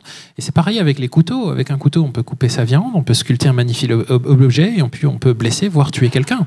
Donc en fait, euh, tu as prononcé le mot intention, qui est, à mon sens, le centre de ce questionnement, qui est un questionnement, je pense, qui est beaucoup plus profond que celui qui est euh, restreint à la spiritualité ou à la société, c'est en fait euh, la, direction que nous prenons actuellement en Occident avec les psychédéliques, qui est une libéralisation progressive sous le contrôle euh, d'une autorité médicale, virgule matérialiste pour la plupart, euh, voire même scientiste dans certains cas, nous, doit nous poser une question, c'est est-ce que je veux conférer mon expérience spirituelle à un médecin ou un psychiatre dont le diplôme ne présage en aucun cas euh, de bienveillance, d'ouverture de cœur, de compassion et de qualité spirituelle qui sont absolument indispensables dans un état modifié de conscience aussi perturbant, euh, transformateur, révolutionnaire que l'expérience psychédélique vécue à haute dose, par exemple. Donc ça, c'est... C'est une vraie question donc je, laisse la question ouverte. Et puis, pour faire le, pendant à cette question, est-ce que je veux confier mon expérience psychédélique transcendantale spirituelle à quelqu'un qui n'a strictement aucun diplôme et qui se lève le dimanche matin en disant je suis chaman euh, Donc. Donc la question est encore plus ouverte que quand tu la poses. C'est, euh, je crois sincèrement que le champ psychédélique, euh, est en fait un champ à part qui ne peut pas être réduit à la psychiatrie, ni à la psychothérapie, ni à la médecine, ni, à, euh, ni aux approches neurologiques. et donc, on a, on peut, j'aime bien dire, il y, a deux mouvements. Euh, il y aurait un mouvement, euh, j'en ai un petit peu parlé, hein, un mouvement qui est strictement euh, médical et matérialiste et qui veut peut-être voir un jour les gens prendre du LSD comme on prend un doliprane, c'est-à-dire avec une approche strictement mécaniste, puisqu'aujourd'hui on a des sociétés qui valent plusieurs centaines de millions de dollars, dont le seul objet est de supprimer la dimension psychédélique des psychédéliques donc avec une incompréhension profonde et peut-être volontaire, qui est de dire ben, on va supprimer la dimension spirituelle et transcendantale de ces absorptions-là, euh, parce qu'en fait c'est terriblement émancipatoire et c'est pas souhaitable. Mais on oublie peut-être que, et on l'a vu hein, dans la corrélation entre spiritualité et, et dimension thérapeutique, qu'en fait c'est l'expérience spirituelle qui guérit. Et au-delà de l'expérience spirituelle, c'est la relation qui guérit, c'est le lien qui guérit dont le psychédélique ne pourrait être qu'un catalyseur, par exemple. Donc voilà comment je pourrais tenter de répondre à la question. Merci Stéphane. Alors, euh, je, crois qu'au miroir, si la médecine doit s'élargir au psychédélique, il faut qu'elle intègre les trois ordres de la médecine. Il y a un ordre biologique, un ordre psychique et un ordre spirituel.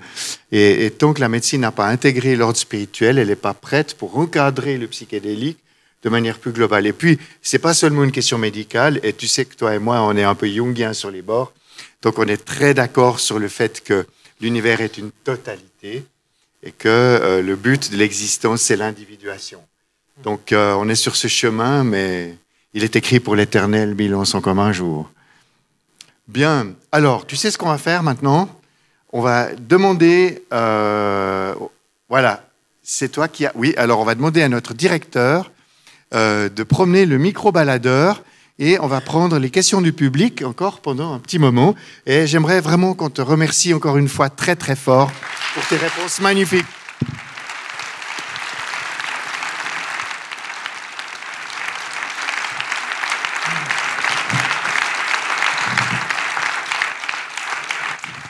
Voilà, alors il y a des mains levées. La première est ici. Didier, oui. Euh, merci infiniment. Peut-être je ne reposerai plus la question quand j'aurai lu votre livre sur lequel je me jetterai euh, avec beaucoup d'enthousiasme. Mais ma question, c'est la suivante. On n'est plus très à l'aise avec l'idée que le clergé nous conduisait vers euh, le divin. Vous êtes apparemment fatigué de l'idée que les patrons du 440 nous conduiraient au bonheur. Et puis là, on est maintenant en train de parler d'une spiritualité où on doit quand même, ou d'un accès à la spiritualité, on doit être quand même être conduit par quelqu'un qui maîtrise un peu la situation, les risques et les trucs. Est-ce qu'il y a donc vraiment aucun accès libre, démocratique et, et pour tout le monde à une spiritualité où il ne va pas se, se mettre en danger ou se tuer mais pouvoir en toute liberté et sans devoir éternellement passer par un intermédiaire, chaman ou autre? Oui. Voilà, ça, ça c'est ma merci, question. Merci pour cette question. Euh, euh, je crois que cet accès libre, euh, démocratique et auto-tel à, à, une dimension transcendante, c'est celui qu'on est en train d'avoir en ce moment. Euh, c'est-à-dire l'expérience de la réalité telle qu'elle est, telle qu'on la vit à travers nos, filtres de perception, et libre à nous de vouloir le transcender d'une manière ou d'une autre. Euh, vous avez utilisé le mot conduire, et je crois que c'est super intéressant de, faire la nuance entre conduire et accompagner. Euh, puisque euh, vous décrivez des autorités qui nous conduisent, et bien sûr, je suis d'accord avec ça. Et dans le champ euh, psychothérapeutique ou dans le champ spirituel, moi, j'aime bien parler d'accompagnement qui ne consiste pas, surtout pas à montrer la direction, surtout pas à créer un nouveau dogme, une nouvelle religion, dont les psychédéliques deviendraient l'outil finalement, puisqu'il faut se rappeler que l'expérience psychédélique, elle nous mène à une très très profonde suggestibilité. C'est-à-dire qu'on devient extrêmement influençable au contexte dans lequel on le fait. Euh, prendre, je dis n'importe quoi, prendre du LSD dans un concert de black metal et prendre du LSD avec sa bien-aimée dans un canapé euh, donne euh, une expérience fondamentalement différente. D'où la notion, je pense, euh, d'accompagnement plutôt que de guidance qui peut laisser libre cours à euh, des nouvelles dérives finalement. Merci, oui, oui, merci, tout à fait. La, la notion d'accompagnement est parfaite dans ce lieu et dans ce contexte. Question suivante. Bonjour. Oui. Je suis ici. Ouais, alors, voilà. On vous écoute. Vous évoquiez Jung euh, tout à l'heure, et c'est vrai qu'à l'aune de ce que vous avez, enfin, euh, des différentes diapositives, euh, c'est vrai que je ne peux pas m'empêcher de penser donc à, à, finalement donc tout son cheminement, sa, sa nuit noire de l'âme. Et euh, lorsque lui évoque l'individuation, finalement, ne l'aurait-il pas fait Donc après euh, consommation finalement de, de, substances? Je me pose la question ce soir. C'est une question que je, je, ne me suis jamais posée. À ma connaissance, à ma connaissance, non nous n'avons pas de, nous n'avons pas de, de, de, traces concrètes de consommation euh, de psychédéliques chez Jung. Hein. La seule chose qui est très connue, bien sûr, c'est son rapprochement euh, et sa tentative de bridge, de pont, en fait, finalement, entre euh, spiritualité et psychologie, hein, qui donnera oui. finalement, par influence, par ricochet, naissance à la psychologie transpersonnelle, qui m'est très chère, hein, créée par Stanislas Grof et Abraham Maslow notamment, et Charles Tart. Mais il n'y a pas de, de, de, de à ma connaissance, de preuves concrètes euh, que, que, de consommation de psychédéliques ou d'antéogènes par Jung. D'accord. Merci. La voix sèche. La voix sèche. Question bonsoir. suivante. Oui, bonsoir. Euh, donc, euh, merci beaucoup pour cette conférence. C'était vraiment un plaisir. J'ai dévoré vos livres, vos travaux, vos conférences. Euh, et je voulais aussi vous remercier d'avoir euh, donné du crédit à Brian Murarescu, sans qui euh, cette conférence aurait probablement eu pas la même tournure. C'est clair. Et qui d'ailleurs revendique de ne jamais avoir pris de psychédélique. Donc ça, c'est et pourtant il a produit ce bouquin de 800 pages qui est à la source de, de tout ce qu'on qu dit ici. Euh, pour ma part, personnellement, j'ai pratiqué 9 cérémonies ayahuasca, 5 bouffos alvarus, je crois. J'ai étudié la métaphysique en détail pendant des années, l'hindouisme, le soufisme, l'ésotérisme chrétien aussi pendant plus de 10 ans. Et donc, euh, donc, je suis vraiment ouvert sur ces sujets. Quoi. Je suis vraiment ni dogmatique ni quoi que ce soit. Donc, euh, moi, la question que vous avez posée m'intéressait beaucoup, c'est-à-dire, euh, est-ce que la voix sèche, comme vous l'appelez, enfin, est-ce que la voix avec ou sans psychédélique amène à la même chose Et donc, c'était un petit peu le, mon, travail, en fait, le travail de ma vie. Et ce qui compte, c'est pas vraiment mon, mon expérience individuelle, mais ce qui compte, c'est de voir que, en fait, toutes les religions n'utilisent pas de psychédélique. En particulier, comme l'explique Brian, euh, vous avez euh, ben, le bouddhisme contemporain aujourd'hui, zéro psychédélique, pourtant ils arrivent à des états spirituels transcendants, euh, shunyata, etc. Et vous avez aussi l'islam. D'ailleurs, la harmaline n'est pas mentionnée dans le Coran. Euh, ça, c'est des, rumeurs. Enfin bref. Et donc, euh, tout ça pour dire que, en fait, après ça, je me suis dit, mais à quoi servent les religions? Pourquoi elles existent? Est-ce que c'est vraiment juste un organe de contrôle, de pouvoir, etc. Et, et je me suis rendu compte par beaucoup d'études et de pratiques qu'en fait, c'est une espèce de cartographie de ce monde transpersonnel, comme l'appelle Olivier Chambon. Et donc, en fait, elle nous donne aussi le chemin, entre guillemets, pour y arriver par la voie sèche. Et, euh, et, et, ça marche plutôt bien, en fait. Il y a pas mal de gens qui, peuvent en témoigner. Donc voilà, euh, je, voulais vous remercier de tout ça et puis partager euh, cette petite euh, expérience personnelle. Et puis pour finir sur la conscience, sur qu'est-ce que le divin, qu'est-ce que la conscience, etc. Ben c'est des questions qui sont posées depuis plusieurs milliers d'années dans l'hindouisme. Et vous avez la Vivekananda Society à New York qui donne beaucoup de conférences sur ces sujets pour les pour les ramener, comment dire, au grand public. Et euh, c'est très intéressant de, parce qu'ils ont une approche très moderne sur des questions très anciennes. Et donc, du coup, ils vous décomposent toute la conscience, ces différentes couches, qu'est-ce que Atma, Jivatma, etc. Et je pense que ça pourrait beaucoup vous intéresser si vous cherchez à approcher tout ça sans psychédélique. Voilà. Merci beaucoup. Merci. Merci beaucoup. Question suivante. Commentaire suivant.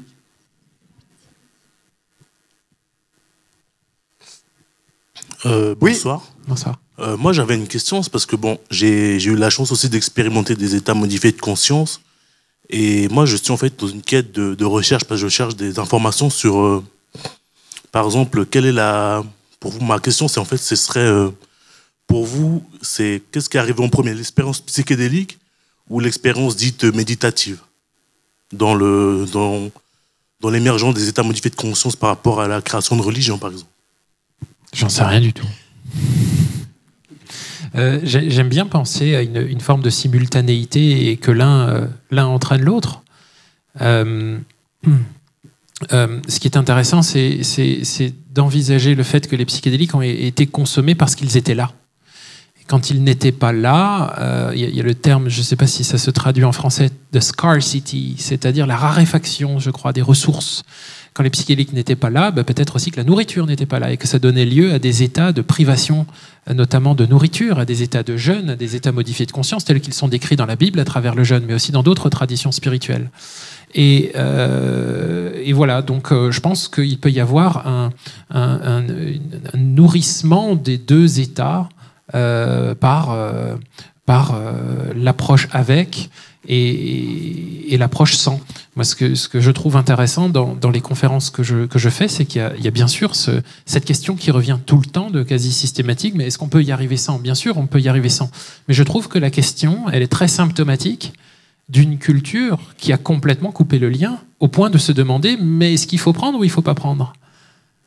Alors qu'il y a encore 600 euh, ans dans ce qu'on appelle la sorcellerie, ou encore dans, euh, il y a des, quelques milliers d'années dans, la société traditionnelle, euh, classique, ou encore aujourd'hui dans les, dans les tribus indigènes, on ne se pose pas la question. Ça fait partie du bol alimentaire et l'expérience spirituelle, on ne se pose pas la question si elle est engendrée ou non par l'expérience antéogénique ou, ou, ou psychédélique. puisqu'il n'y a pas cette même distanciation de la nature et on est dans une société qui a stigmatisé l'état modifié de conscience. Euh, je rappelle qu'en France, depuis peu, la méditation est interdite à l'école. Voilà, parce qu'il euh, y, a eu donc une, expérimentation euh, à, large échelle hein, avec des écoles pilotes, et ça nous met dans des états de suggestabilité qui peuvent prêter à le sport national en France, c'est la qualification de dérive sectaire. Donc voilà pourquoi, euh, voilà un exemple, si vous voulez, de distanciation de finalement l'émancipation que procurerait l'expérience spirituelle. Quand vous vivez une expérience spirituelle, qu'elle soit avec ou sans psychédélique, eh bien on peut se rendre compte finalement qu'on a besoin de moins consommer, on a moins besoin de carrière, de grosses voitures, de paraître, de briller, et de souscrire finalement à cette idéologie consumériste euh, qui est en train de détruire la planète. Mais si vous voulez, l'expérience spirituelle, laissez-moi parler.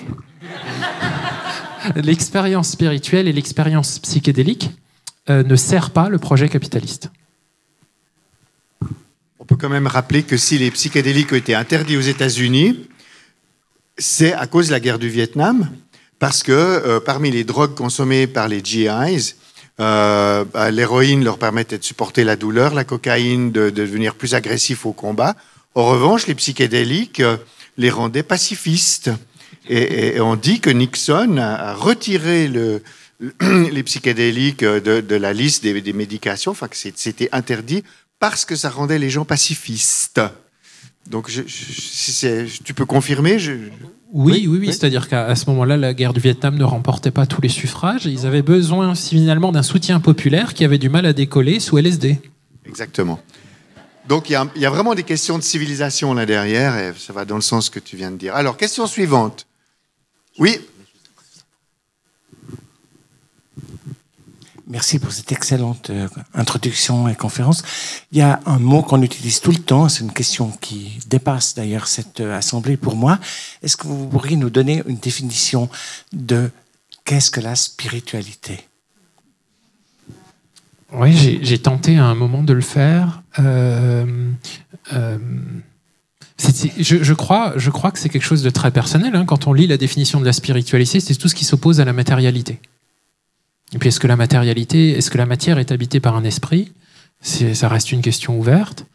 Euh, en tout cas, je crois que c'est à chacun, hein, pour éviter de rentrer dans, à nouveau le dogme, hein, de définir ce que c'est que notre rapport au transcendant, notre rapport au spirituel. Je pense que la spiritualité est avant tout une, une expérience personnelle. La mienne, c'est le contact avec une intelligence non humaine. On entendra ce qu'on veut derrière. hein. Euh, c'est très très large.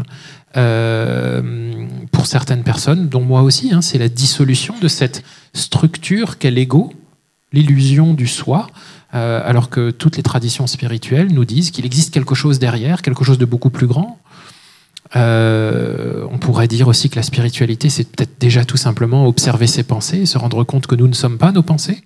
Donc nous ne sommes pas cette structure agissante qui pense et qui croit être tellement importante et, et, et qui, euh, qui manque finalement de recul. C'est peut-être déjà tout simplement ce retour arrière. Il y a beaucoup d'ouvrages sur une spiritualité, euh, euh, des spiritualités sans Dieu, des spiritualités athées. Donc c'est un champ très large qui, à mon avis, euh, doit se, se- se limiter à, à- l'expérience personnelle. Et si on a une avancée à faire au sens collectif, euh, au sens collectif, ce serait justement euh, en, en direction de la liberté de conscience et de, de, de l'expérience directe et du droit à chacun de déterminer ce qu'il entend, lui, pour lui, comme transcendance spirituelle ou mysticisme, par exemple. merci. On continue. Oui. Oui, madame. Alors, il y avait une citation qui m'a un peu interpellée, c'était Force aux guerriers, et guérison et paix de l'âme. Alors, je voulais savoir comment vous interprétiez ça, cet antagonisme. Oui, euh, vous parlez plus particulièrement de la dimension guerrière? Oui, voilà, par rapport Ouais. à. J'ai pas vraiment de, de réponse. hein. La citation est issue de la Bhagavad, de- du Rig Veda, pardon. Euh, il faut se replacer dans un contexte où euh, où il y avait justement euh, des guerres de territoire pour des raisons de ressources, euh, et puis euh, la dimension guerrière dans une société qui commençait à devenir patriarcale euh, a peut-être une dimension aussi sacrée, et peut-être aussi que dans déjà on, était dans dans la je crois hein, que ce qui caractérise la religion en tant qu'institution, c'est la narration. Hein, c'est la tentative de, de transmettre quelque chose euh, sans passer forcément par l'expérience directe et en proposant une expérience intermédiaire. Donc la religion en tant qu'institution, c'est ça.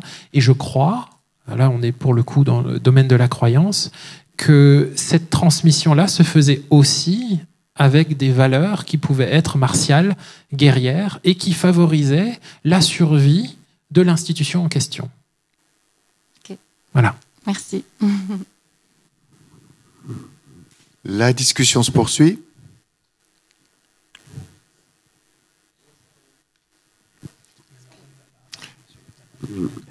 Il y, aura quelqu'un là-haut après. Ouais. Merci d'avoir partagé euh, les résultats de vos travaux.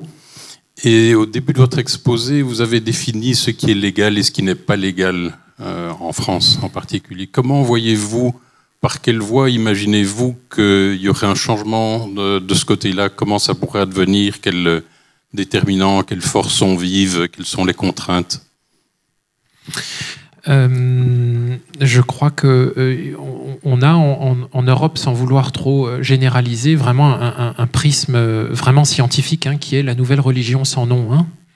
Le scientisme, hein, si c'est pas scientifiquement prouvé, ça n'existe pas. Or, on oublie de dire que la science est juste une méthode, sans vouloir l'opposer à d'autres méthodes comme l'expérience directe ou l'empirisme ou la spiritualité, peu importe.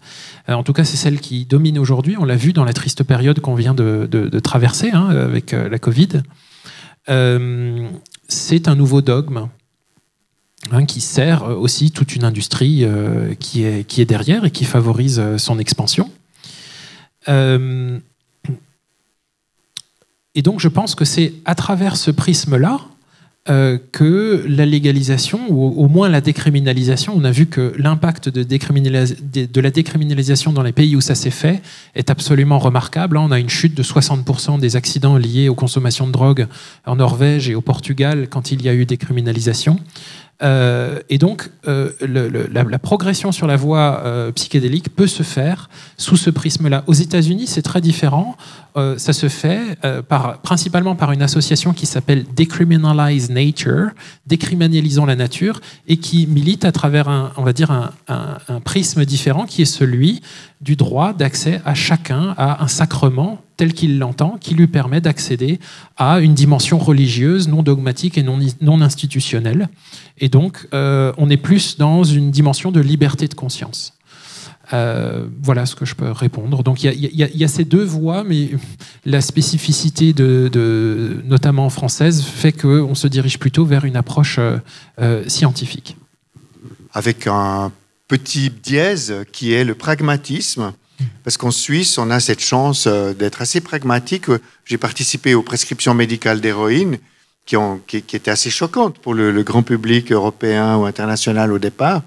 Et là, on est en train de nouveau d'ouvrir une trace avec la prescription médicale de psychédéliques. Est-ce que ça ouvre aussi un champ euh, de possibles par pragmatisme? Alors, on revient à la discussion de tout à l'heure. Il ne s'agit pas de médicaliser euh, la conscience, mais est-ce que le pragmatisme serait peut-être, pour répondre à la question du public, euh, une, une voie pour que ça change? Si ça produit des effets intéressants, positifs, sanitaires, euh, voilà. Je ne sais pas trop ce que c'est que le pragmatisme, mais donc, comme je l'entends, j'imagine que c'est à mi-chemin entre l'aridité nécessaire de la science et sa volonté d'objectivité, ou au moins d'intersubjectivité, et finalement des choses qui sont très personnelles et ne peuvent pas être mesurables ni reproductibles. On est d'accord. Merci pour euh, votre exposé. Euh, J'ai été frappé d'une chose, c'est que l'origine en fait euh, de, toutes les substances sont végétales ou dans les champignons. Or, euh, vous pourriez faire un commentaire sur le fait qu'il y, en a qui sont aussi qu'on trouve aussi dans le règne animal. Je pense à la bufoténine. Peut-être une deuxième question sur des molécules que vous n'avez peut-être pas non plus abordées. Les nouveaux psychotropes de synthèse, où on part de ces molécules qu'on va trouver dans la nature, qu'on change un petit peu.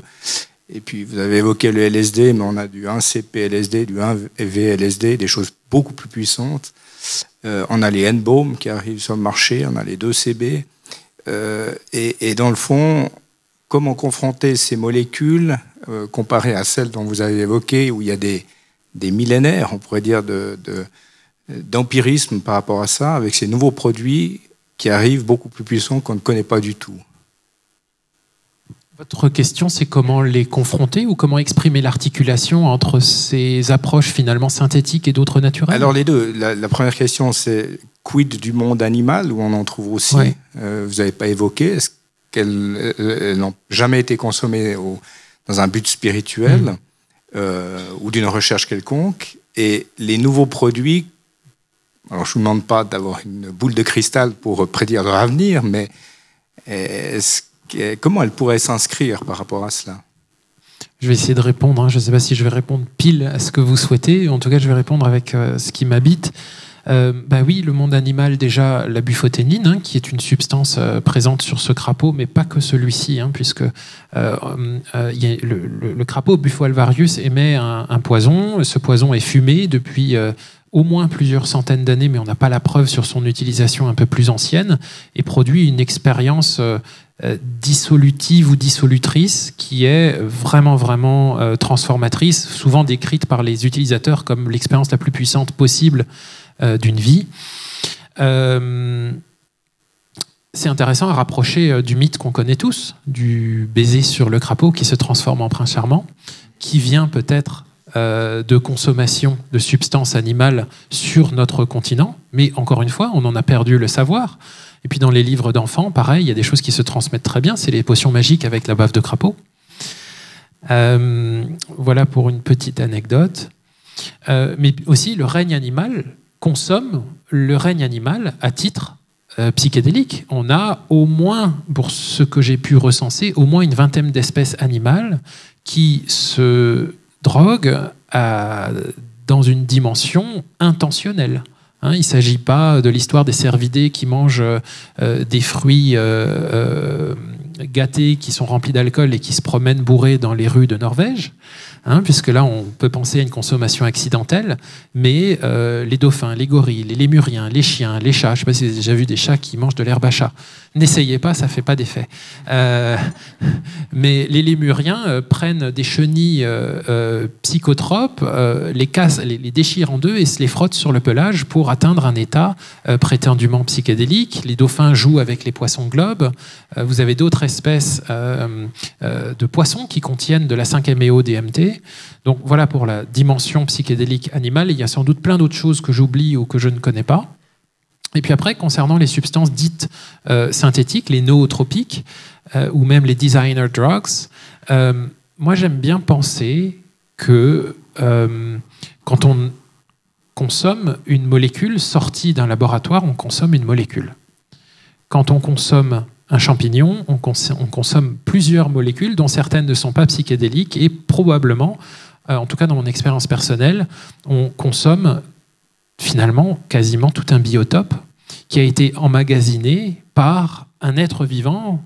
Et on ne consomme pas qu'une seule molécule, on consomme quelque chose qui, dans la perception de l'animisme, est animé, est, est, anthropomorphisé, possède un esprit. Dans plusieurs chamanismes, dans la majorité des chamanismes, on a cette anthropomorphisation de la plante et chaque plante a un esprit. On peut regarder ça comme la tentative d'établir une interface avec quelque chose qu'on ne comprend pas. Et c'est vrai qu'en lui prêtant un esprit, on l'anthropomorphise et finalement la communication peut se faire. Donc voilà la grande différence et l'articulation que je pourrais tenter d'exprimer entre substances euh, synthétiques qui sortent d'un laboratoire et qui n'ont pas d'occurrence dans la nature. D'ailleurs, jusqu'à il y a un mois, on pensait que la kétamine n'existait pas dans la nature. Or, on a trouvé une espèce de champignon microscopique euh, il y a très récemment qui produit de la kétamine. Et euh, voilà ce que je pourrais tenter d'exprimer. c'est que les, substances dites vivantes, dites naturelles, ne contiennent pas qu'une molécule, mais un cocktail d'informations peut-être vibratoire, peut-être énergétique, puisque ça a une réalité scientifique, et qui influe l'expérience psychédélique qui devient alors davantage euh, symbiotique et spirituelle. Bravo. Bravo, merci. Juste pour glisser qu'en médecine tibétaine, on mélange entre 100 et 200 plantes différentes pour faire un médicament. Donc, euh, ça va dans le sens de de l'expérience de la nature et de la symbiose avec euh, l'être humain. Alors, je suis passé un petit peu rapidement sur le sujet de la médecine tibétaine, ou plutôt du bouddhisme tibétain, euh, qui trouve ses origines dans un syncrétisme entre chamanisme, médecine tibétaine et religion. Euh, et dans le Dzogchen, vous savez, le, le chaque religion a son courant ésotérique. Hein. Par exemple, l'un des courants ésotériques du christianisme, c'est le gnosticisme. Dans l'islam, c'est le soufisme. Dans le judaïsme, c'est euh, la kabbale. Euh, eh bien, un des courants ésotériques du bouddhisme, c'est le dzogchen dans le bouddhisme tibétain. Et dans le dzogchen, dans le parcours initiatique, il y a un rituel secret qu'on appelle le drupchen. Et dans le drupchen, il y a la consommation de pilules, mendrup, euh, dont les recettes sont millénaires. D'ailleurs, le Dalai Lama vient d'un endroit qui a une tradition millénaire de fabrication de ces pilules, eh bien forcément, certains scientifiques, comme c'est secret, se sont penchés sur l'élucidation de la composition des mendrupes. On se rend compte qu'il y a des morceaux de reliques, de momies. Vous savez l'importance de conserver certaines momies, euh, certains maîtres qu'on momifie euh, pour en faire des reliques. Eh bien, on prélève de la matière organique pour l'inclure dans ces pilules, mais aussi des matières minérales, des matières animales et des produits psychédéliques. Et donc, dans le bouddhisme tibétain, on a un rituel et plein d'autres d'ailleurs, hein, puisqu'il y a aussi le rituel euh, de la découpe des morts, hein, dans, ce, phénomène rituel qui consiste à donner le cadavre de ces défunts au vautour. Hein. donc on a l'enterrement par le ciel, hein, qui est quelque chose à la fois de terrifiant et de très beau, où celui qui découpe euh, ces cadavres euh, le fait dans une fumigation euh, de Burgmansia ou de Datura, dans un état altéré de conscience qui lui fait apparaître des, des, des, choses pas très sympas d'ailleurs. Mais ça fait partie, la dimension psychédélique fait partie également du bouddhisme tibétain, qui, je le répète, est un syncrétisme entre chamanisme, religion et médecine. Merci pour ce complément, je crois très utile. Question suivante. Alors, il y a ici au premier rang une main levée. J'ai encore le micro, donc j'en profite. il y a encore un micro là-haut. Oui, alors Pierre on descendra. Oui, monsieur. bonsoir. Euh, merci pour cette conférence. J'ai une question plutôt pour euh, monsieur Besson. Je viens sur le sur l'encadrement. on a parlé de, euh, de pragmatisme helvétique et j'avais une question un peu basique sur comment ça se passe vu l'importance du setting quand on prend des substances, c'est-à-dire le la manière de, cadrer le temps que ça prend, plusieurs heures, pour avoir un remboursement et imaginer qu'on puisse cadrer ça par une société qui soit en mesure finalement d'être dans un, dans un, encadrement médical ou est-ce qu'on sera obligé euh, d'arriver vers autre chose parce que c'est juste trop cher en fait? Alors merci pour la question. Donc c'est une question euh, médicale. Actuellement, euh, tout est expérimental l'Office fédéral de la santé publique donne des autorisations à titre exceptionnel et à titre compassionnel à des médecins qui en font la demande selon des critères très précis pour certaines indications. On peut évoquer la dépression résistante, il y a des critères, l'alcoolisme résistant, il y a des critères, et les, graves traumatismes psychiques. Ces trois indications euh, qui doivent être documentées, il y a une critériologie. Le médecin se déclare euh, donc prescripteur auprès de l'OFSP, il, obtient une autorisation en tant que médecin et il demande une autorisation pour son patient. Mais là où vous avez raison, c'est que tout cela, dans le fond, prend du temps. Et euh, une journée, euh, disons, d'accompagnement, de psychothérapie, d'accompagnement par des psychédéliques, ça prend plusieurs heures. Donc si on veut aller au tarif TARMED, ouais, bah, ça coûte une blinde, quoi, voilà. Donc ça, ça pose un vrai problème sur l'accès euh, en termes financiers de la population à ce type de prestations. Et ça va poser des questions importantes sur la limitation pour des raisons financières, ou alors à des délégations à des gens qui ont peut-être moins de compétences qu'un psychiatre, FMH, psychothérapeute licencié par le FSP, qu'une psychologue, psychothérapeute licenciée en PAP par la Schweizerische Gesellschaft. Vous voyez? À ce moment-là, on va tomber sur des, problèmes de dilution des compétences ou des responsabilités. Et là, ça va être difficile. Là, c'est les juristes qui vont commencer à regarder, les financiers. Et comme moi, j'ai vécu toute l'histoire de la prescription d'héroïne, vous savez que le, peuple a voté hein, sur le remboursement de l'héroïne par la caisse maladie. Et on a voté oui, mais euh, c'était à 54%, euh, oui. Hein. C'était une des votations les plus difficiles, le remboursement de l'héroïne par la caisse maladie. Donc là, on va, je pense, en quelques années dans cette direction. Je pense qu'il y aura des critères assez stricts avec euh, des, des, juristes et des médecins qui vont bosser en commission. Ça va être restrictif. Actuellement, l'héroïne médicale à Lausanne, c'est 50 places sur 5000 héroïnomanes, dont 3000 euh, ont la méthadone. Voyez donc, c'est, on, on va pas du tout vers une libéralisation sociétale euh, de l'accès aux psychédéliques, dans le sens où on en a discuté, Stéphane et moi, tout à l'heure. Donc, je crois que le, destin médical des psychédéliques est forcément limité euh, par les coûts, les pratiques, la loi, le serment d'Hippocrate et le reste, et tout, et tout, et tout. Donc on pose des vraies questions de société. Maintenant, on pourrait inverser la question. Est-ce que, est que, dans le fond, les spiritualités avec psychédéliques euh, vont-elles éclore? Moi, j'ai entendu parler de chrétiens qui veulent faire la Sainte Seine euh, avec des champignons. Tu, tu peux commenter ça? Peut-être que c'était déjà le cas. hein. Alors, c'était le cas historiquement, mais il paraît que ça fait retour. Tu, tu en sais quelque chose? Non, Alors, moi, j'ai vu ça. hein. Ah, Ils sont, bon, ils crient pas au grand jour, mais on va faire la communion avec les champignons. Et, et- mais la vraie, hein, avec Jésus, tout comme il faut. hein. Donc, c'est juste pour décaler du médical au religieux, n'est-ce pas? Voilà, ça pose des questions abyssales, n'est-ce pas? Voilà. Question suivante. Je me permets encore de Oui, monsieur. faire balader. Donc, euh, je me permets encore de faire balader le, le micro au niveau du balcon, puisqu'il a Balcon, été oui. présent au niveau du parterre, comme on dit ici. Donc, euh, la prochaine question vient d'une dame au balcon. Merci beaucoup. Tout d'abord, je voudrais vous remercier parce que ça fait du bien de- d'entendre ce discours, euh, comment dire, euh, qu'on a été coupé de la na- nature. Parce que c'est vrai que revenir euh, avec euh, ce contact, moi je suis née en Norvège justement, et j'ai vécu toute mon enfance et jusqu'à 18 ans en Norvège.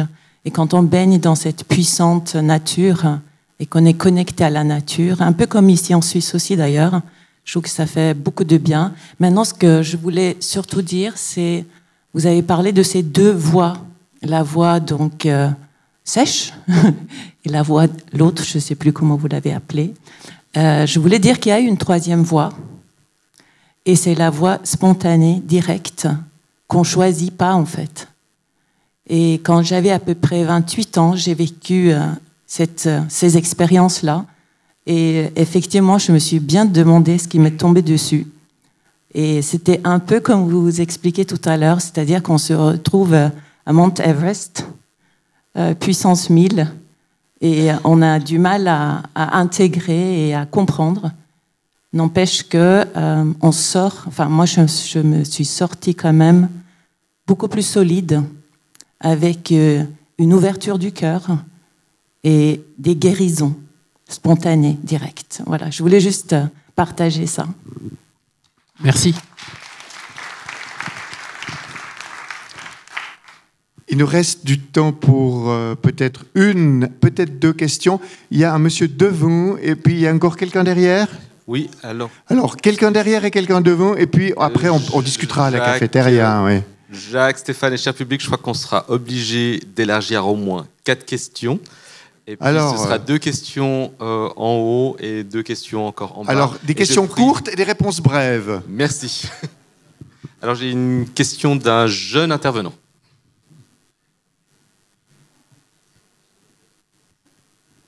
Alors, euh, je vous remercie pour euh, cette conférence. C'était vraiment passionnant, à tel point que ça m'a donné envie moi-même de faire l'expérience. Maintenant, je me posais la question est-ce que en fait la prise de, psychédéliques pourrait accroître le, le risque de développer des, des maladies mentales ou des troubles psychotiques ou ce genre de choses en fait? Oui, alors euh, on n'en parle pas. Olivier Chambon le répète souvent. hein, c'est quelque chose l'expérience psychédélique, donc cet élargissement des perceptions euh, euh, est très très très fortement déconseillé dans le cadre d'un terrain propice à la psychose, à la schizophrénie, à des choses comme ça. Et donc là, c'est pour ça que je pense que la dimension médicale est bien sûr tout aussi indispensable que la dimension spirituelle. Et très clairement, ce n'est pas une expérience pour tout le monde. Encore, Encore une question depuis le balcon. Oui. Oui, bonsoir. Une euh, question brève. Qu'en pensez-vous de la respiration holotrophique? Euh, elle a été créée par euh, Stanislas Grof qui voulait justement, suite à l'interdiction du LSD, tenter de reproduire les mêmes effets que le LSD à travers une respiration très particulière. Alors personnellement, je pense qu'on en est très loin. Néanmoins, c'est un état de conscience qui peut être cathartique, thérapeutique. euh, et euh, que j'aime beaucoup rapprocher des techniques de respiration yogique qui ont euh, des siècles. Et avant le yoga, il y avait d'autres euh, techniques de respiration qui induisaient des états modifiés de conscience. On prend encore deux questions. Il y avait une question devant aussi, oui. Devant, voilà. Ah, c'est la même, alors bon. Alors une autre, encore devant, là, voilà.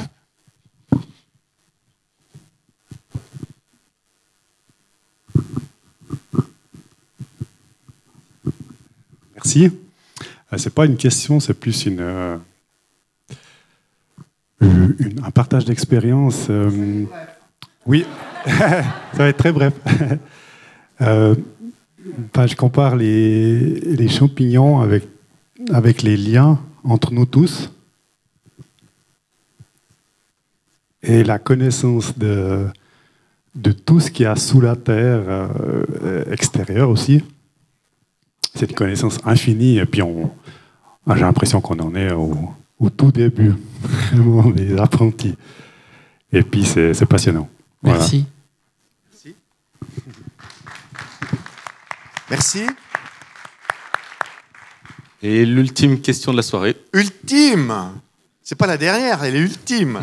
Alors, Didier, il y a une main levée ici. Et de manière arbitraire, elle est donc. Euh, voilà, une dame. Au voilà, une dame. Et ce sera une dame au parterre. Voilà, soyons galants. Voilà.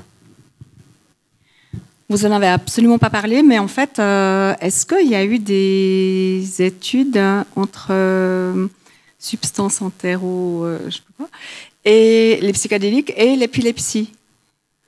Étant donné que l'épilepsie, c'est quand même. Euh, enfin, les troubles épileptiques, c'est les, troubles les plus importants. Euh. J'ai vu passer quelque chose, quelque chose à ce sujet. Je ne suis pas formel, mais pour ceux qui souhaitent trouver euh, des études entre les interactions concernant certains troubles ou certaines consommations d'autres médicaments et les psychédéliques, il y a Google Scholar, qui est en fait une partie de Google qui va répertorier toutes les études scientifiques. Et si vous tapez, par exemple, psychedelics et épilepsie, vous allez trouver tout ce qui s'est fait sur le sujet. Et je glisserai que l'épilepsie temporale droite s'appelle aussi épilepsie sacrée et qu'elle permet des voyages mystiques fantastiques. Mais c'est encore une autre histoire. Ce sera peut-être ultime, effectivement. Donc je propose que nous félicitions Stéphane encore une fois.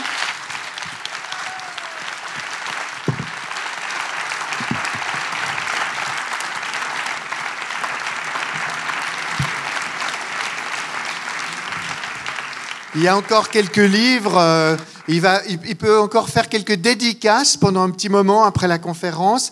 Et puis, je vous rappelle que le cycle de la conscience se poursuit. On se retrouve en février avec le docteur Maurice Stoffacher, qui est président de la Société suisse de médicale et il va nous parler des rapports entre rêve et spiritualité. Venez nombreux. Bonne soirée